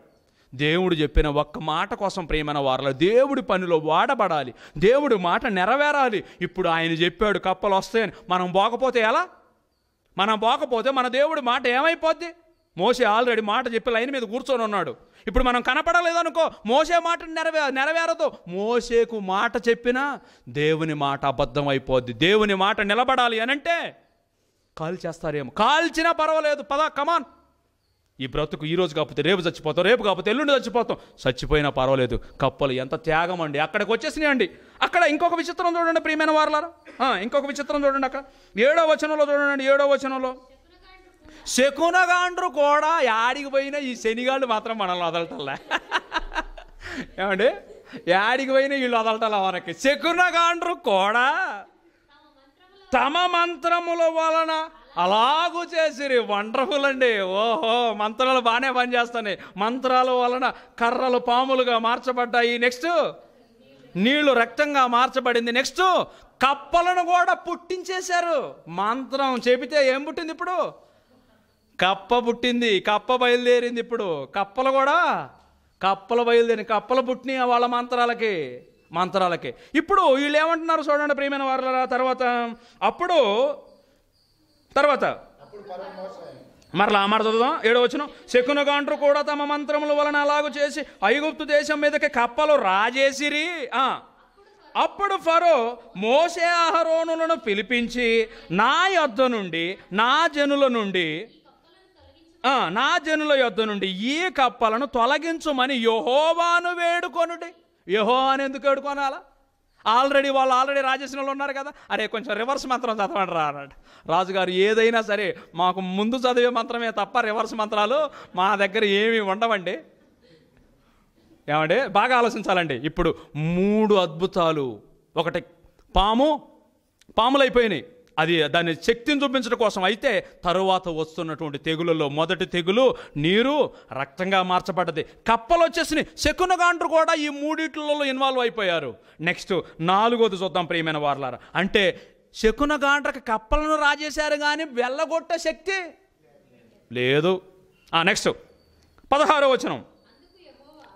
అందుకు యహోవా మోసేతో నీవు నీ కర్ర చాపి ఈ దేశపు ధూళిని కొట్టుము. అది ఐగుప్తు దేశమందంతటను పేలగును. నెక్స్ట్ ఏంటిదమ్మా? పేలు. ధూళిని మీద కొడితే ఏమైపోతున్నాయి? పేలైపోతాయి. పేలు ఎక్కడుంటాయి? నువ్వు అనుకున్నట్టుగా చిన్న పేలేం కాదు ఈ పేలు. ఇప్పుడు దేవుడి పనిలోకి ఏమొస్తున్నాయి? పేలు కూడా దేవుడి పనిలోకి వస్తాయా? వండర్ఫుల్ కదండి. దేవుడి పనిలో పేలు కూడా వస్తాయా? ఆ పేలు ఏ పేలు అనుకుంటున్నారు? తర్వాత వచ్చిన చదవండి. అహరోను తన కర్రను పట్టుకొని చెయ్యి చాపి ఆ దేశపు ధూళిని కొట్టినప్పుడు పేలు మనుషుల మీదను జంతువుల మీదను ఉండెను. ఈ పేలుకు ఒక పరీక్ష అండి కప్పలకు ఒక పరీక్ష అండి. ఈ కప్పలు ఎక్కడికి పోవాలి? కప్ప ఎదురుగా వచ్చి చూడాలి. ఓహో ఈడు ఇజ్రాయేలీడు ఈడి దగ్గరకు పోకూడదు. Come on let's go to Egyptians ఎక్కడికి వెళ్ళాలి? వీళ్ళందరూ ఈజిప్ట్ వాళ్ళ దగ్గరికే వెళ్ళాలి. ఐగుప్తీల దగ్గరికే వెళ్ళాలి. ఇప్పుడు పేను కూడా తల దగ్గరకు పోయినామంటే ఎక్కడికి పోవాలి ఇప్పుడు? చూసి ఒక్కసారి చూద్దామంటే అది ఎంత ఉంది? అది ఎంత ఉంది? దాని కళ్ళు తెరిచి మొత్తం చూసినా కూడా మనిషి కనపడ్డ ఇప్పుడు. ఇది దీనికి ఒక టెస్ట్. ఇది ఎవరి దగ్గరకు పోవాలి? ఇజ్రాయేలీల దగ్గరక ఐగుప్తుల దగ్గరక? ఇజ్రాయేలీల జోలికి పోకూడదు. ఐగుప్తుల దగ్గరకు పోవాలి. అయినా కూడా వెతుక్కుంటూ వెతుక్కుంటూ కరెక్ట్గా స్మెల్ చూసి వాడిని పట్టుకొని వాడు తలలో చేరినాయండి అని ఇక్కడ ఒక మాట రాయబడిందండి చూడండి పదిహేడో వచనంలోని. అహరోను తన కర్రను పట్టుకొని చెయ్యి చాపి ఆ దేశపు ధూళిని కొట్టినప్పుడు మనుషుల మీదను జంతువుల మీదను ఉండెను అని అక్కడ పేలు అన్న దగ్గర నెంబర్ వన్ రాసిందండి బైబిల్లో. ఏమండి? ఉందా? కింద ఏం రాసిందమ్మా దాని అర్థం? మిన్నల్లి. పేలు అంటే పేలు అనుకోవద్దు నాయన అది గుడి దేవుడికి తెలియదు. నీకు కుట్టడం అంటే ఏంటో తెలియాలి అని అంటే నీకేం కావాలా? మిన్నల్లి. మిన్నల్లి అంటే నల్లులు. ఏంటది? నల్లు గుడిచి ఎలా ఉంటుంది? కమ్మగా ఉందని ఎవడని పడుకుంటాడా? ఒక్కొక్క కుట్టు కొడతా ఉంటే ఎంత నిద్రైన మగతైన వదిలి అక్కడ మంచం అంతా దులుపుకొని అవసరం అనుకుంటే బయటనే పడుకుంటా కానీ వామ్మో ఈ మంచం నల్లులతో నిండిపోయింది అనుకుంటామండి. ఈ నల్లులు లేకపోతే ఈ పేలు దేవుడు మహత్కార్యాల వల్ల వచ్చేసిన ఈ వారు. అప్పుడు మన ఆల్రెడీ గ్యాంగ్ ఉందిగా. గ్యాంగ్ గ్యాంగ్ని దేవుడు దేవుడు ఎదుట చేస్తున్నారు ఈ గ్యాంగ్ కూడా. ఈ గ్యాంగ్ను పిలిచాడండి పరో పద్దెనిమిది వచ్చిన వాళ్ళు ఏమంటున్నారు చూడండి. శకునగాండ్రు కూడా పేలను పుట్టించవలెనని తమ మంత్రముల చేత అట్లు చేసిరి కానీ అది వారి వల్ల కాకపోయాను. ఓరి దరిద్రుడా కప్పనే రాజేసినోడికి పేలు చేయటం చేత కదా? ఏంటి నీళ్ళను రక్తంగా మార్చినోడికి పేలు చేయడం చేత కదా? అంటే అరే నిజం చెప్పరా అనడం. నాకు తెలియదు రాజుగారు ఏదో చదివినాము. మరి అసలు ఎందుకు ఆ కర్ర పామైందో మాకు తెలియదండి. ఎందుకయిందో అని వీళ్ళు అనుకున్నారండి. ఇక్కడ బాగా గమనిస్తే ప్రేమైన వాళ్ళ శకునగాండ్రు తమ మంత్రముల చేత ఏమీ చేయలేదు. శకునగాండ్రు కేవలం వాడి హృదయాన్ని కఠినపరచడం కోసం వారి వెనక కూడా దేవుడు ఉన్నాడు. వాడేదో పిచ్చి మంత్రాలు చదవగానే మంత్రాలకు చింతకాయలు రాలుతాయా? రాలతాయా రాలవు. రాలాలంటే ఏం చేయాలా? చేతిలో రాయి ఉండాల గురి చూడాల దానికి గట్టిగా కొట్టాల. నువ్వు ఎన్ని రోజులు మంత్రం చదివినా? రాదు. ఇక్కడ శకున గాండ్ర వెనక కూడా ఉన్నది ఎవరు? దేవుడు ఉన్నాడు దేవుడు ఉన్నాడు దేవుడు ఉండి వాళ్ళ మా కేవలం ఆ రాజు యొక్క ఇప్పటికీ మంత్రాలు ఉన్నాయంటారా? లేవంటారా? లేవు. ఉంటే వాళ్ళ కర్రలు మింగుతూ ఉంటే ఆ పామును చంపి మళ్ళీ లాక్కోవాలి. పట్టుకుందామంటే భయం వేసి చచ్చిపోయారు వీళ్ళు.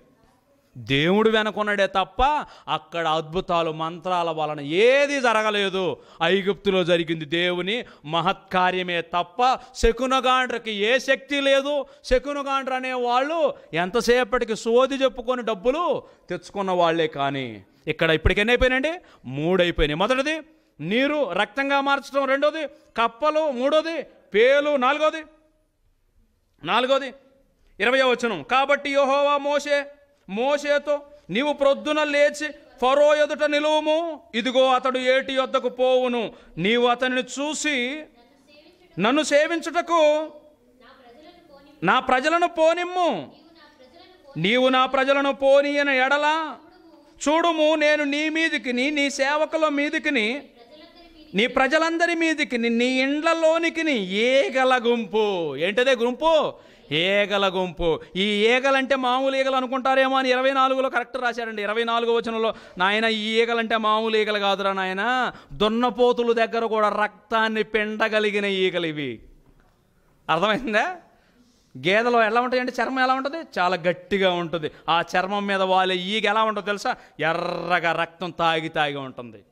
ఆ ఈగలో ఇప్పుడు ఎవరి మీద కుదరాలా ఐగుప్తీల మీద కొదలాల. దేవుడు వదులుతున్నాడండి. ఒక్కొక్కటి ఒక్కొక్క దండు బయలుదేరుతా ఉంది ఆయన దండులో కప్పలు ఉన్నాయి ఆయన దండులో పేలు ఉన్నాయి ఆయన దండులో ఈగల గుంపులు ఉన్నాయి బాధాకరమైన ఈగల గుంపులు అనే మాటను చూడండి. బాధాకరమైన ఈగల గుంపులు ఫరో ఇంటిలోనికి అతని సేవకుల ఇండ్లలోనికి వచ్చి ఐగుప్తు దేశమందంతటా వ్యాపించను.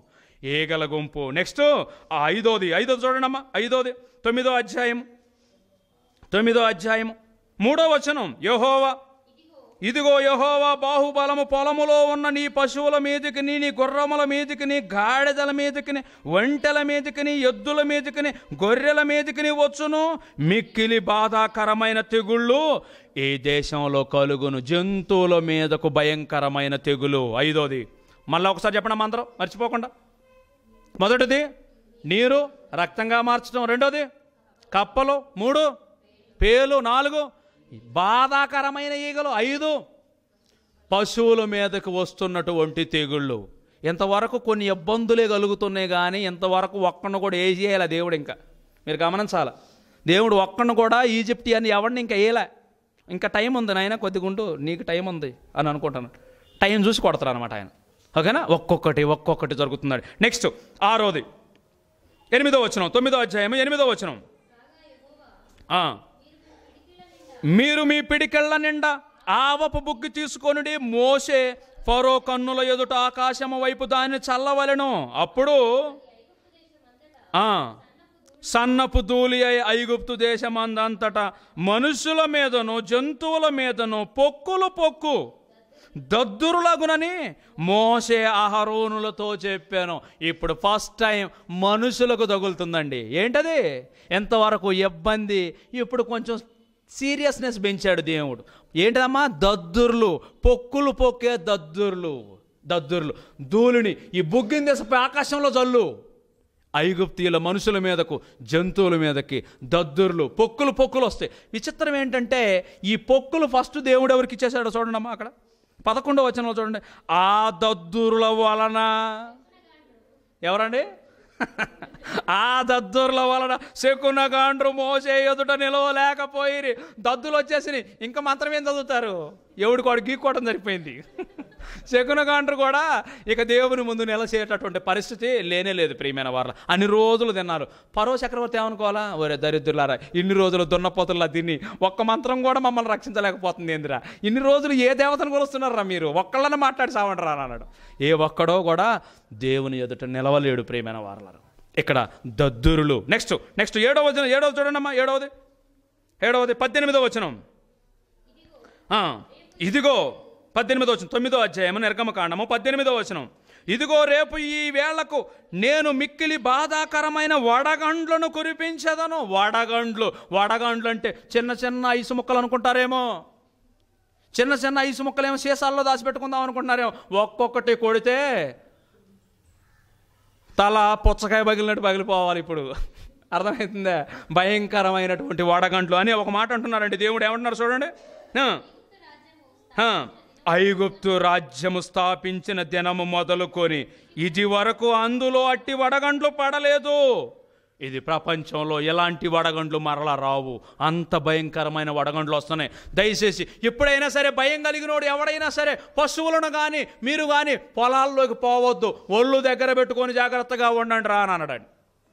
అన్నప్పుడు ఏం చేయాలండి? చాలామంది భయపడ్డారంట చూడండి ప్రియమైన వారు ఇరవై వచనం చూడండి ఇరవై వచనం. ఫరో సేవకులలో యహోవా మాటకు భయపడిన వాడు ఆయన చెప్పాడంటే చెప్పింది చెప్పినట్టు చేస్తాడండి. ఆయన నిజంగా మహారోషం కలిగిన వాడండి. ఆయన మహాక్రోధం కలిగిన వాడండి. మహారోషం కలిగినటువంటి దేవుడు చెప్పింది చెప్పినట్టుగా జరుగుతుంది. ఏంటి అద్భుతాలు? మా జీవితంలో ఎప్పుడూ చూడలేదు. ఈ పేలు రావటం ఏంటి? ఈగల గుంపులేంటి?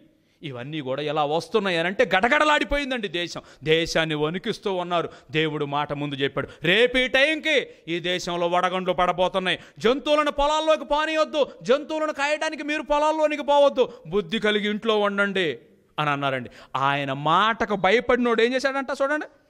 ఫరో సేవకులలో యహోవా మాటకు భయపడిన వాడు తన సేవకులను తన పశువులను తన ఎండ్లలోనికి త్వరగా రప్పించను. త్వరగా రప్పించేసుకున్నాడు. ఆయన మాట వినని వాడు హతమైపోయాడండి. తర్వాత ఎనిమిదో ఎనిమిదో చూడండి అమ్మ, ఎనిమిదో తెగులు. ఎనిమిదో తెగులు. పదో అధ్యాయము ఐదో వచనం. ఎవడను నేలను చూడలేనంత. అవి దాన్ని కప్పును. నెక్స్ట్ ఇక్కడ మిడతల గురించి చెబుతున్నాడండి దేవుడు. ఏం చెబుతున్నాడు? మిడతల గురించి చెబుతున్నాడు. అక్కడ పదో అధ్యాయం మొదటి వచనం నుంచి చూడండి. మొదటి వచనం నుంచి. కాగా ఉమ్, యెహోవా మోషేతో ఉమ్, ఫరో యొద్దకు వెళ్ళుము ఉమ్, నేనే యెహోవానని మీరు తెలుసుకున్నట్లు ఆ, నేను చేయు సూచక్రియలను ఐగుప్తుల ఎదుట కనపరచుటకు కనపరచుటకు నేను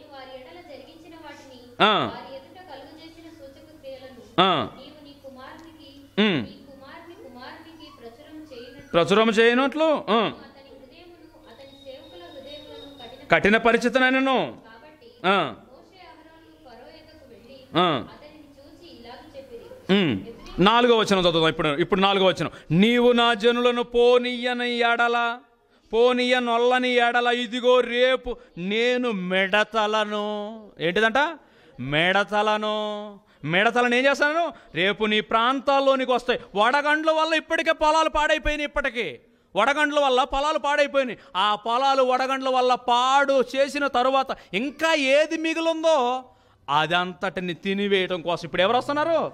మిడతలు మిడతలు. ఆ తర్వాత తొమ్మిదోది చూడండి తొమ్మిదోది. పదో అధ్యాయము ఇరవై మూడు. ఇరవై రెండు నుంచి చూద్దాం ఇరవై రెండు నుంచి. మోసే ఆకాశమంతయు తన చెయ్యి ఎత్తినప్పుడు ఆకాశము వైపు తన చెయ్యి ఎత్తినప్పుడు ఐగుప్తు దేశమంతయు మూడు దినములు గాఢాంధకారము. కటిక చీకటండి. భయంకరమైన చీకటి ఆ దేశంలోకి వచ్చేసింది. చిట్ట చివరి తెగులే ఆ దేశంలో పస్కా పండుగ. ఆ దేశమున తొలి సంతానం అంతటిని సంహరించాడండి దేవుడు. మీ అందరికీ తెలిసింది. తొలి సంతానం అంతటిని సంహరించాడు దేవుడు ఎందుకు ప్రెస్టేజియస్గా ఇవన్నీ చేశాడు? మనకు బాగా అర్థం కావాలి ప్రేమ దేవుడు ఎందుకు? ఎందుకు అని అంటే మొదటిది ఈ దేశం ఆల్రెడీ దేవుని ఎదుట పాపం చేసింది ప్రేమైన వారు పాపం చేసిందండి. పాపం చేలో పాపం భయంకరమైనటువంటి పాపం అండి. భయంకరమైన పాపం. ఒక్కసారి చూడండి నిర్గమకాండము మొదటి అధ్యాయం. నిర్గమకాండము మొదటి అధ్యాయము. పదిహేనో వచనం చూడండి పదిహేనో వచనం. ఐగుప్తు రాజు సిఫ్రా పూయ అను హెబ్రియుల మంత్రసానులతో మాట్లా ఏమండి రాజు అనేవాడు మంత్రసానితో మాట్లాడవచ్చా అసలు మంత్రసానితో మాట్లాడాల్సిన దరిద్రపు పని ఈడికెందుకు? మంత్రసాని ఎక్కడో పురిటి నొప్పులతో బాధపడుతున్నటువంటి గర్భవతులైన తల్లుల దగ్గర ఉండే ఆ స్త్రీని రాజుగా ఉండేవాడు పిలిచాడు అని అంటే వాడు పిలిచి పైగా ఏం చెబుతున్నాడు? పుట్టే పసిబిడ్డలో గనక మగపిల్లలైతే పుట్టుకలోని చంపేసేయండి నిరపరాధులండి పరిశుద్ధులు దేవుడిచ్చిన గర్భఫలాలు గర్భఫలాలను పుట్టుకలోని చంపేయాలి అని అనుకున్నారు. ఆ షిఫ్రా పూయ అనే వాళ్ళకి చెబితే వాళ్ళు భయపడ్డారండి. మాకు బిడ్డలం కన్నా నేను ఒక తల్లినే. నేను తల్లినే ఉండి నా బిడ్డలను ఇలాంటి పసిబిడ్డలను చంపటం ఏంటి? భయపడి బిడ్డలను దాచిపెట్టారండి. అలా దాచిపెట్టబడిన వారిలో బ్రతికి బట్ట కట్టిన యహోశివ ఉన్నాడు. అలా బతికి బట్ట కట్టినటువంటి వారిలో మోసే ఉన్నాడు. అలా బతికి బట్ట కట్టిన వారిలో అహరోను ఉన్నాడు. మిరియాము ఉన్నారు. వీళ్ళందరూ కూడా దేవుని దయ వలన బ్రతికి బట్ట కట్టిన వారే ప్రేమైన వారు. కానీ అందరూ బిడ్డలు తమ తల్లి ఒడులలో అలా బ్రతుకుతున్నారన్న సంగతి రాజుకు తెలిసి రాజు ఏమన్నాడు తెలుసా తర్వాత ఇరవై రెండో వచనంలో చూడండి ఇరవై రెండో వచనంలో ఏమంటున్నాడు? అయితే ఫరో హెబ్రిలలో పుట్టిన ప్రతి కుమారుణ్ణి నదిలో పారవేయండి. ఎంత బాధ అండి ఎంత దారుణం ఇది. తల్లి ఒడిలో వెచ్చగా పడుకుంటూ కనీసం ఎవరి దగ్గర ఉన్నాడో కూడా తెలియకుండా ఒడిలోని ఒదిగి పడుకున్నటువంటి పసికందులను లాగి పసికందులను తల్లి ఒడిలో లాగుతుంటే ఆ తల్లులు ఎంతగా ఆర్తనాదాలు చేయాలి? ఆ దేశంలో ఎంతమంది తల్లులు ఘోష ఆ దేశంలోనే వినపడాలండి. ఈ పసిబిడ్డను లాగి కుతికలను తెగకోసి అలా నదుల్లో విసిరేస్తే ఆ పిల్లలు ఊపిరాడక నీళ్ళు తాగి మునిగి చనిపోతూ అక్కడ ఉన్నటువంటి చేపలకు అక్కడ ఉన్నటువంటి మొసళ్ళకు అక్కడ ఉన్న పాములకు పీక్కు తిని ఆ పసిబిడ్డలను రక్తం ఒలికించిన పాపిస్తు దేశం అండి ఐగుప్తు దేశం. ఐగుప్తు దేశం పాపిష్టి దేశం. ఇదిగో దేవుని ప్రజలైనటువంటి ఇజ్రాయేలీలను భయంకరమైన బానిసత్వంలోకి కనీసం మనిషి అన్నవాడు పక్కనున్నవాడు మనిషి అనే విలువ కూడా లేకుండా నానా చిత్రహింసలు పెట్టి అసహించుకున్నారండి వారిని. నిరపరాధుల రక్తం చెందిన దేశాన్ని దేవుడు ఊరుకోవాలా చెప్పండి? ఊరుకోవాలా? ఎవరిని ఊరుకోడు ఆయన? ఎవరిని ఊరుకోడు? నిరపరాధుల రక్తం పసికందుల ఏడుపులు. ఈ దేశంలో వినపడ్డాయి ఎంతోమంది తల్లుల ఘోష ఈ దేశంలో వినపడింది రాజులన్నవాడు తనకు ఇవ్వబడిన అధికారాన్ని దుర్వినియోగపరిచి ఎందరో బిడ్డలను హతమార్చినటువంటి పాపిష్టి దేశం ఇది. అందుకే దేవుడు స్కెచ్ కరెక్ట్గా గీశాడు. ఈ దేశాన్ని ఒక సెకండ్లో శిక్షించగలడు. అవసరం అనుకుంటే అందరిని ఒకే దెబ్బలో చంపగలడు. చంపితే పక్కనోడికి భయం తెలియదు. వీడిని చంపేది గ్యారంటీ. వీడిని శిక్షించేది గ్యారంటీ. వీడిని బహిరంగంగా దుష్టులైనటువంటి వీళ్ళను వీళ్ళని శిక్షించేది. ప్రపంచంలో ఉన్న ప్రతి ఒక్కడు వనకాలని అనుకున్నాడండి. అందుకే తన చెయ్యి చాపాడు. ఎక్కడ ప్రపంచంలో జరగనటువంటి అద్భుత కార్యాలను చేశాడు. ఆ దేశం గజగజలాడిపోయింది. ఇజ్రాయేలీలు దేవుడి పట్ల నమ్మకాన్ని కలిగేలా చేశాడు. ఆ తర్వాత బయలుదేరండి ఇప్పుడు మీరు. వాడి కొడుకు చచ్చిపోయినటువంటి బాధలో వాడున్నాడు. పసిబిడ్డలను ఎందరినో రక్తంగా రక్తం చిందించి వాళ్ళ బిడ్డలను నదిలో వేసినప్పుడు బాధ కలగలేదు వాడికి. వాడి కొడుకు ఒక్కడ చచ్చిపోతే ఈ ఇళ్ళల్లో ఉన్నటువంటి సైనికులు ఈ ఇళ్ళలో ఉన్న అధిపతులు ఎందరో ఎందరో పసిబిడ్డలను చంపినటువంటి దేశం ఇది. కాబట్టి ప్రతి ఇంటిలో శవం లేవాల్సిందే. నడవండి అని అన్నాడండి. అప్పటికప్పుడు గజగజలాడుతూ బయలుదేరిపించండి. దేవుడు ముందే చెప్పాడుగా వాడు ఇప్పుడు నిన్ను పంపాడు నాయన. నేను చేయాల్సిన కార్యాలు చేసినప్పుడు గజగజలాడుతూ పంపిస్తాడు. అప్పుడు బయలుదేరన్నారండి. బయలుదేరారు ఇప్పుడు. బయలుదేరారు. బయలుదేరి వెళ్ళిపోయిన తరువాత అసలోడికి ఇంకా పనిష్మెంట్ రాలే. ఇంకా మీరు బాగా గమనించాలా? అసలోడికి ఇంకా వార్నింగ్లు పడలే. జస్ట్ ఇప్పటి వరకు గజగజలాడి వణికాడు. వణికినంత మాత్రాన వాడిని వదిలిపెడతాడా? వదిలిపెడతాడా? సైనికులు ఎంతమంది అండి? శిక్షించింది పసిబిడ్డల్ని కోసి ముక్కలు ముక్కలుగా నదుల్లో విసిరేసేసారండి ఈ సైన్యం అంతా బయలుదేరాలి ఇప్పుడు. వీళ్ళని ఎక్కడ చంపాలనుకున్నాడు దేవుడు? వీళ్ళకి స్కెచ్ ఎర్ర సముద్రంలో గీశాడండి స్కెచ్. ఎక్కడ చంపితే కాదు. కమాన్ ఊరు బయటకు రండి రానన్నాడు ఊరు బయటకు రండి బిడ్డ. మీరు ఊరు బయటకు రండి. బయలుదేర్పించి వాళ్ళని నడిపిస్తూ ఫరో హృదయాన్ని కట్టిన పరిచాడండి. కట్టిన పరిచిన తర్వాత వీడు మరలా బయలుదేరాడు. ఎక్కడ? వాడికి ఉన్న సైన్యం మొత్తాన్ని. ఏ సైన్యాన్ని చూసుకొని అయితే విర్రవిగాడో ఆ సైన్యంతో బయలుదేరాడు ప్రేమైన వారు సైన్యంతో బయలుదేరినప్పుడు దేవుడు అప్పుడు అనుకున్నాడండి ఇది కరెక్ట్. ఇక్కడ జరిగే ప్రతిది ప్రపంచ దేశాలకు ఇది దేవుడు జరిగిస్తున్నటువంటి మహత్కార్యము. ఎప్పటికీ ఫరో సైన్యపు రథముల అవశేషాలు ఎప్పటికీ ఎర్ర సముద్రంలో కనబడుతున్నాయండి. చాలామందికి సాక్ష్యంగా ఎప్పటికీ ఉన్నాయి ప్రేమైన వారలారా.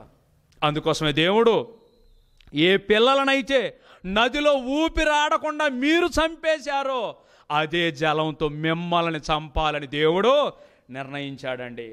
దేవుడు చేస్తుంది న్యాయమా? అన్యాయమా మీరు చెప్పండి.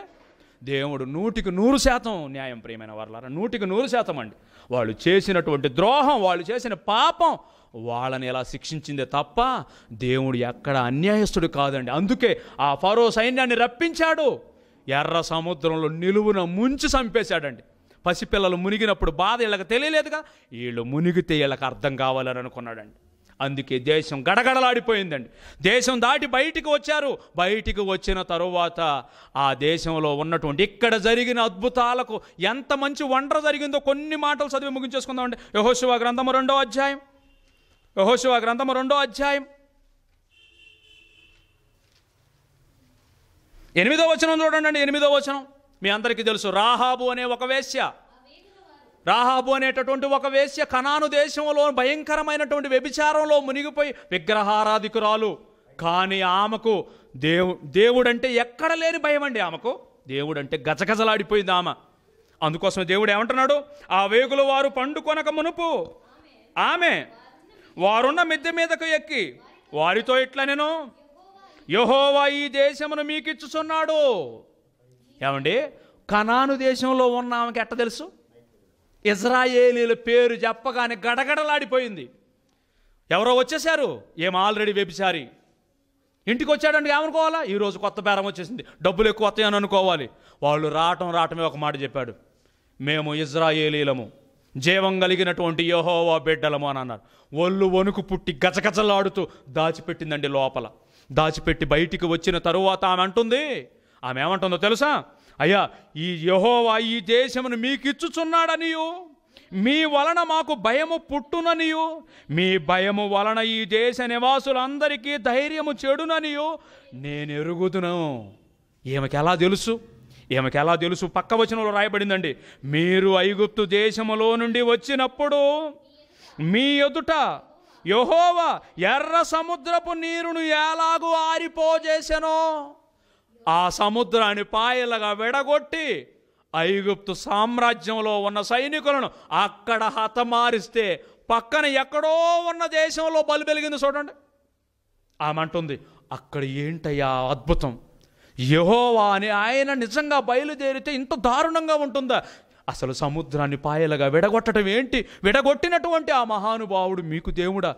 ఆ దేవుడు మీ పక్షాన ఉంటే ఏ దేశమైనా మీకు వణిగిపోద్ది.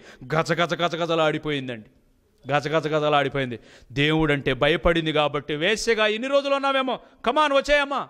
వచ్చేసే దేవుని బిడ్డగా బ్రతకడానికి అర్హురాలవే. ఇక నువ్వు ఎప్పుడు కూడా పాపం చేయొద్దు. కలిపేసుకున్నారండి ఇజ్రాయేలీలలో ప్రియమైన వార్లారా. ఇజ్రాయేలీలో కలిపేసుకున్నారండి. ఆ తరువాత కాలంలోని ఈ దేశం మీదకు దండెత్తి వెళ్ళిపోతూ ఉన్నారు ఇజ్రాయేలీలు. కనాను దేశాన్ని ఆక్రమించుకోవాలి ఇప్పుడు. పాపిస్టు వారైన ప్రతి ఒక్కరిని హతమారుస్తూ ఉన్నారు. ప్రతి ఒక్కరిని కూడా అక్కడ శిక్షిస్తూ ఉన్నారు. శిక్షిస్తూ ఉన్నప్పుడు గిబియోనియు అనేటటువంటి ఒక సిటీ ఉందండి. ఏంటా సిటీ? గిబియోను. ఏంటమ్మా సిటీ పేరు? గిబియోను. ఈ దేశం ఆల్రెడీ పాపపు దేశమే. ఆ పట్టణం పాపపు పట్టణమే.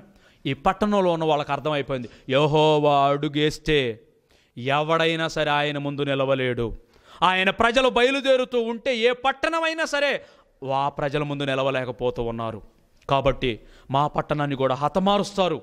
హతమారుస్తారు అని అనుకున్నారు ప్రియమైన వాళ్ళరా హతమారుస్తారు అనుకొని మాయవేషంతో వాళ్ళు బయలుదేరారండి. మాయవేషంతో బయలుదేరి ఎలా వచ్చారో తెలుసా?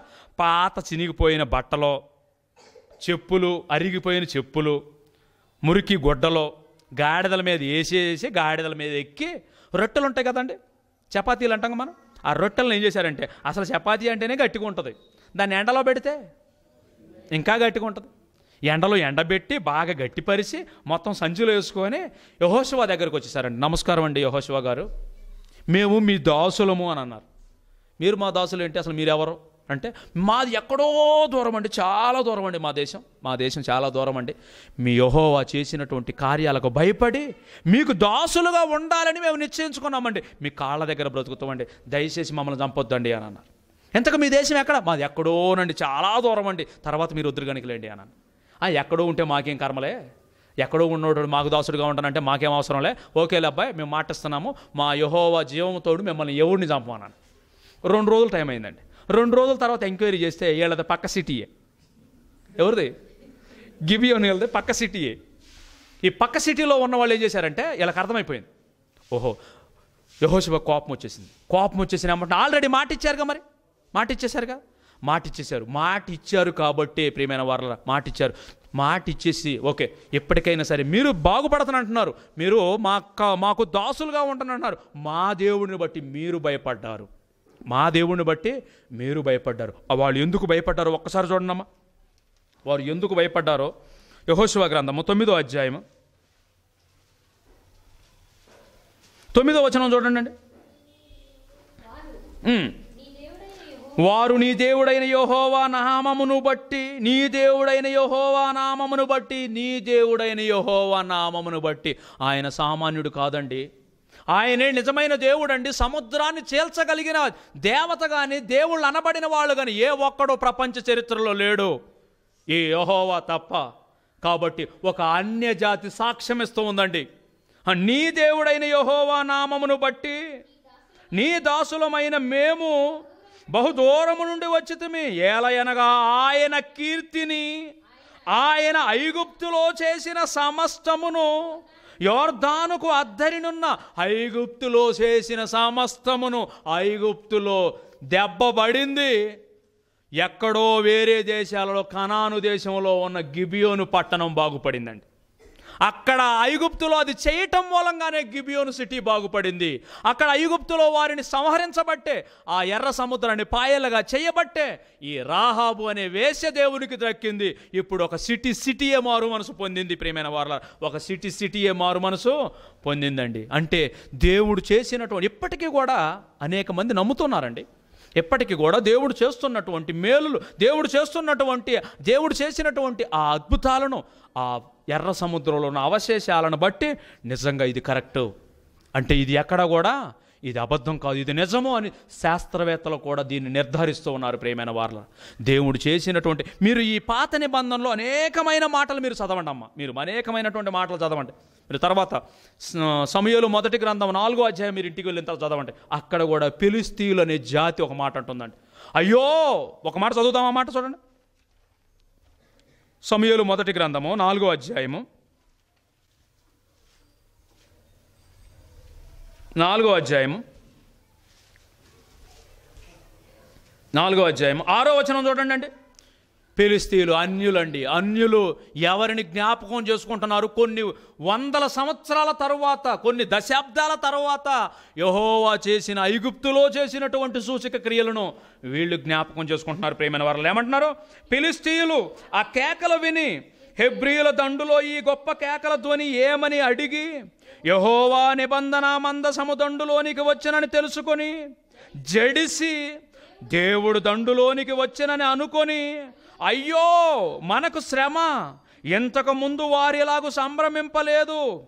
అయ్యయ్యో మహాశూరుడగు ఈ దేవుని చేతిలో నుండి మనలను ఎవరు విడిపింపగలరు?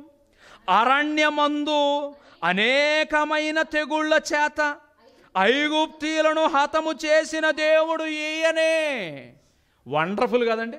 ఎన్ని సంవత్సరాల తరువాత ఎక్కడెక్కడో ఉన్న అన్ని జనులు యహోవ నామం అన్న యహోవా ప్రజలన్న గజగజలాడిపోయి ఆయన గురించి ఎంత గొప్పగా సాక్ష్యం చెబుతున్నారంటే ఆ దేవుని ఎదుట భయపడుతూ ఉన్నారు ప్రేమైన వారు ఇలా ప్రపంచంలో భయపడాలి అనే ప్రపంచంలో అనేక దేశాలు భయపడాలి అనే తమ పాపాన్ని ప్రక్కన పెట్టుకొని దేవుని తట్టుకు తిరగాలని దేవుడు పాపము చేసిన ఐగుప్తును శిక్షించాడు బహిరంగంగా శిక్షించాడు. ఆ బహిరంగ శిక్ష అనేకులు భయపడినట్టుగా మనం చూస్తున్నాం ప్రియమైన వారలారా. పాపం చేసినటువంటి ఫరో చక్రవర్తి పసిబిడ్డలను హతమార్చాడు. దేవుడంటే లెక్క లేకుండా మాట్లాడండి. దేవుడంటే యహోవ ఎవడో జనులను పోనీయడానికి యహోవ ఎవడో? వాడెవడో చెబితే నేను పోనీయాలని అన్నాడు. చేతులు కట్టుకొని గజగజ వణుకుతూ పంపించేశాడండి గజగజ వణుకు పంపించాడు ప్రేమైన వారు వాడి హృదయాన్ని కఠినపరిచి వాడి సామ్రాజ్యాన్ని కొల్లబడిసి దేశాన్ని చిత్రవద చేసి ఆయన బిడ్డలను ఆయన తీసుకొని వచ్చాడు ప్రేమైన వారలరా. దేవుని చేతిలోని ఎలా వాడబడ్డాడు? దేవుని చేతిలో వాడబడ్డాడండి. దేవుని చేతిలోని భయంకరంగా వాడబడ్డాడు ప్రేమైన వారలు. మనం గనక మెత్తని మనసు కలిగి ఉంటే దేవుడు మనల్ని హత్తుకుంటాడండి మనం గనక కఠినమైన హృదయం కలిగామా? ఉదయం నేర్చుకున్నామండి. మెత్తని మనసు కలిగిన యోషియాను బట్టి దేవుడు మనసు మార్చుకున్నాడు. కఠినమైన హృదయం కలిగిన పరోను బట్టి నిన్ను నా నా బలమేదో ప్రపంచానికి చూపించడం కోసమే నిన్ను ఆడుకుంటానన్నాడు వాడుకున్నాడు. మనం కఠినంగా ఉంటున్నామా? మనం మెత్తని మనసు కలిగి ఉంటున్నామా? మనం దేవుణ్ణి మెప్పించాలనుకుంటున్నామా? దేవుని యందు భయభక్తులు కలిగి ఉంటున్నామా? మనుషుల ఎందు భయభక్తులు కలిగి ఉంటున్నామా? ప్రేమైన వారలరా జాగ్రత్తగా ఆలోచించుకోవాలండి. దేవుడు నిన్ను కూడా కఠిన పరిచే స్థితి నీలోనికి రాకూడదు. ఎవరైతే దేవునికి తమ మనసులో చోటి నొల్లక పోతారో ఎవరైతే దేవుడికి తమ మనసులో చోటి నొల్లక పోతారో దేవుడే చెయ్యరాని కార్యములు చేయుటకు భ్రష్ట మనసుకు వారిని అప్పగిస్తాడు. ఒక్క మాట చదువుకొని ముగించేసుకుందామండి. రోమపత్రిక మొదట అధ్యాయం ఇరవై ఎనిమిది. రోమపత్రిక మొదట అధ్యాయము ఇరవై ఎనిమిది.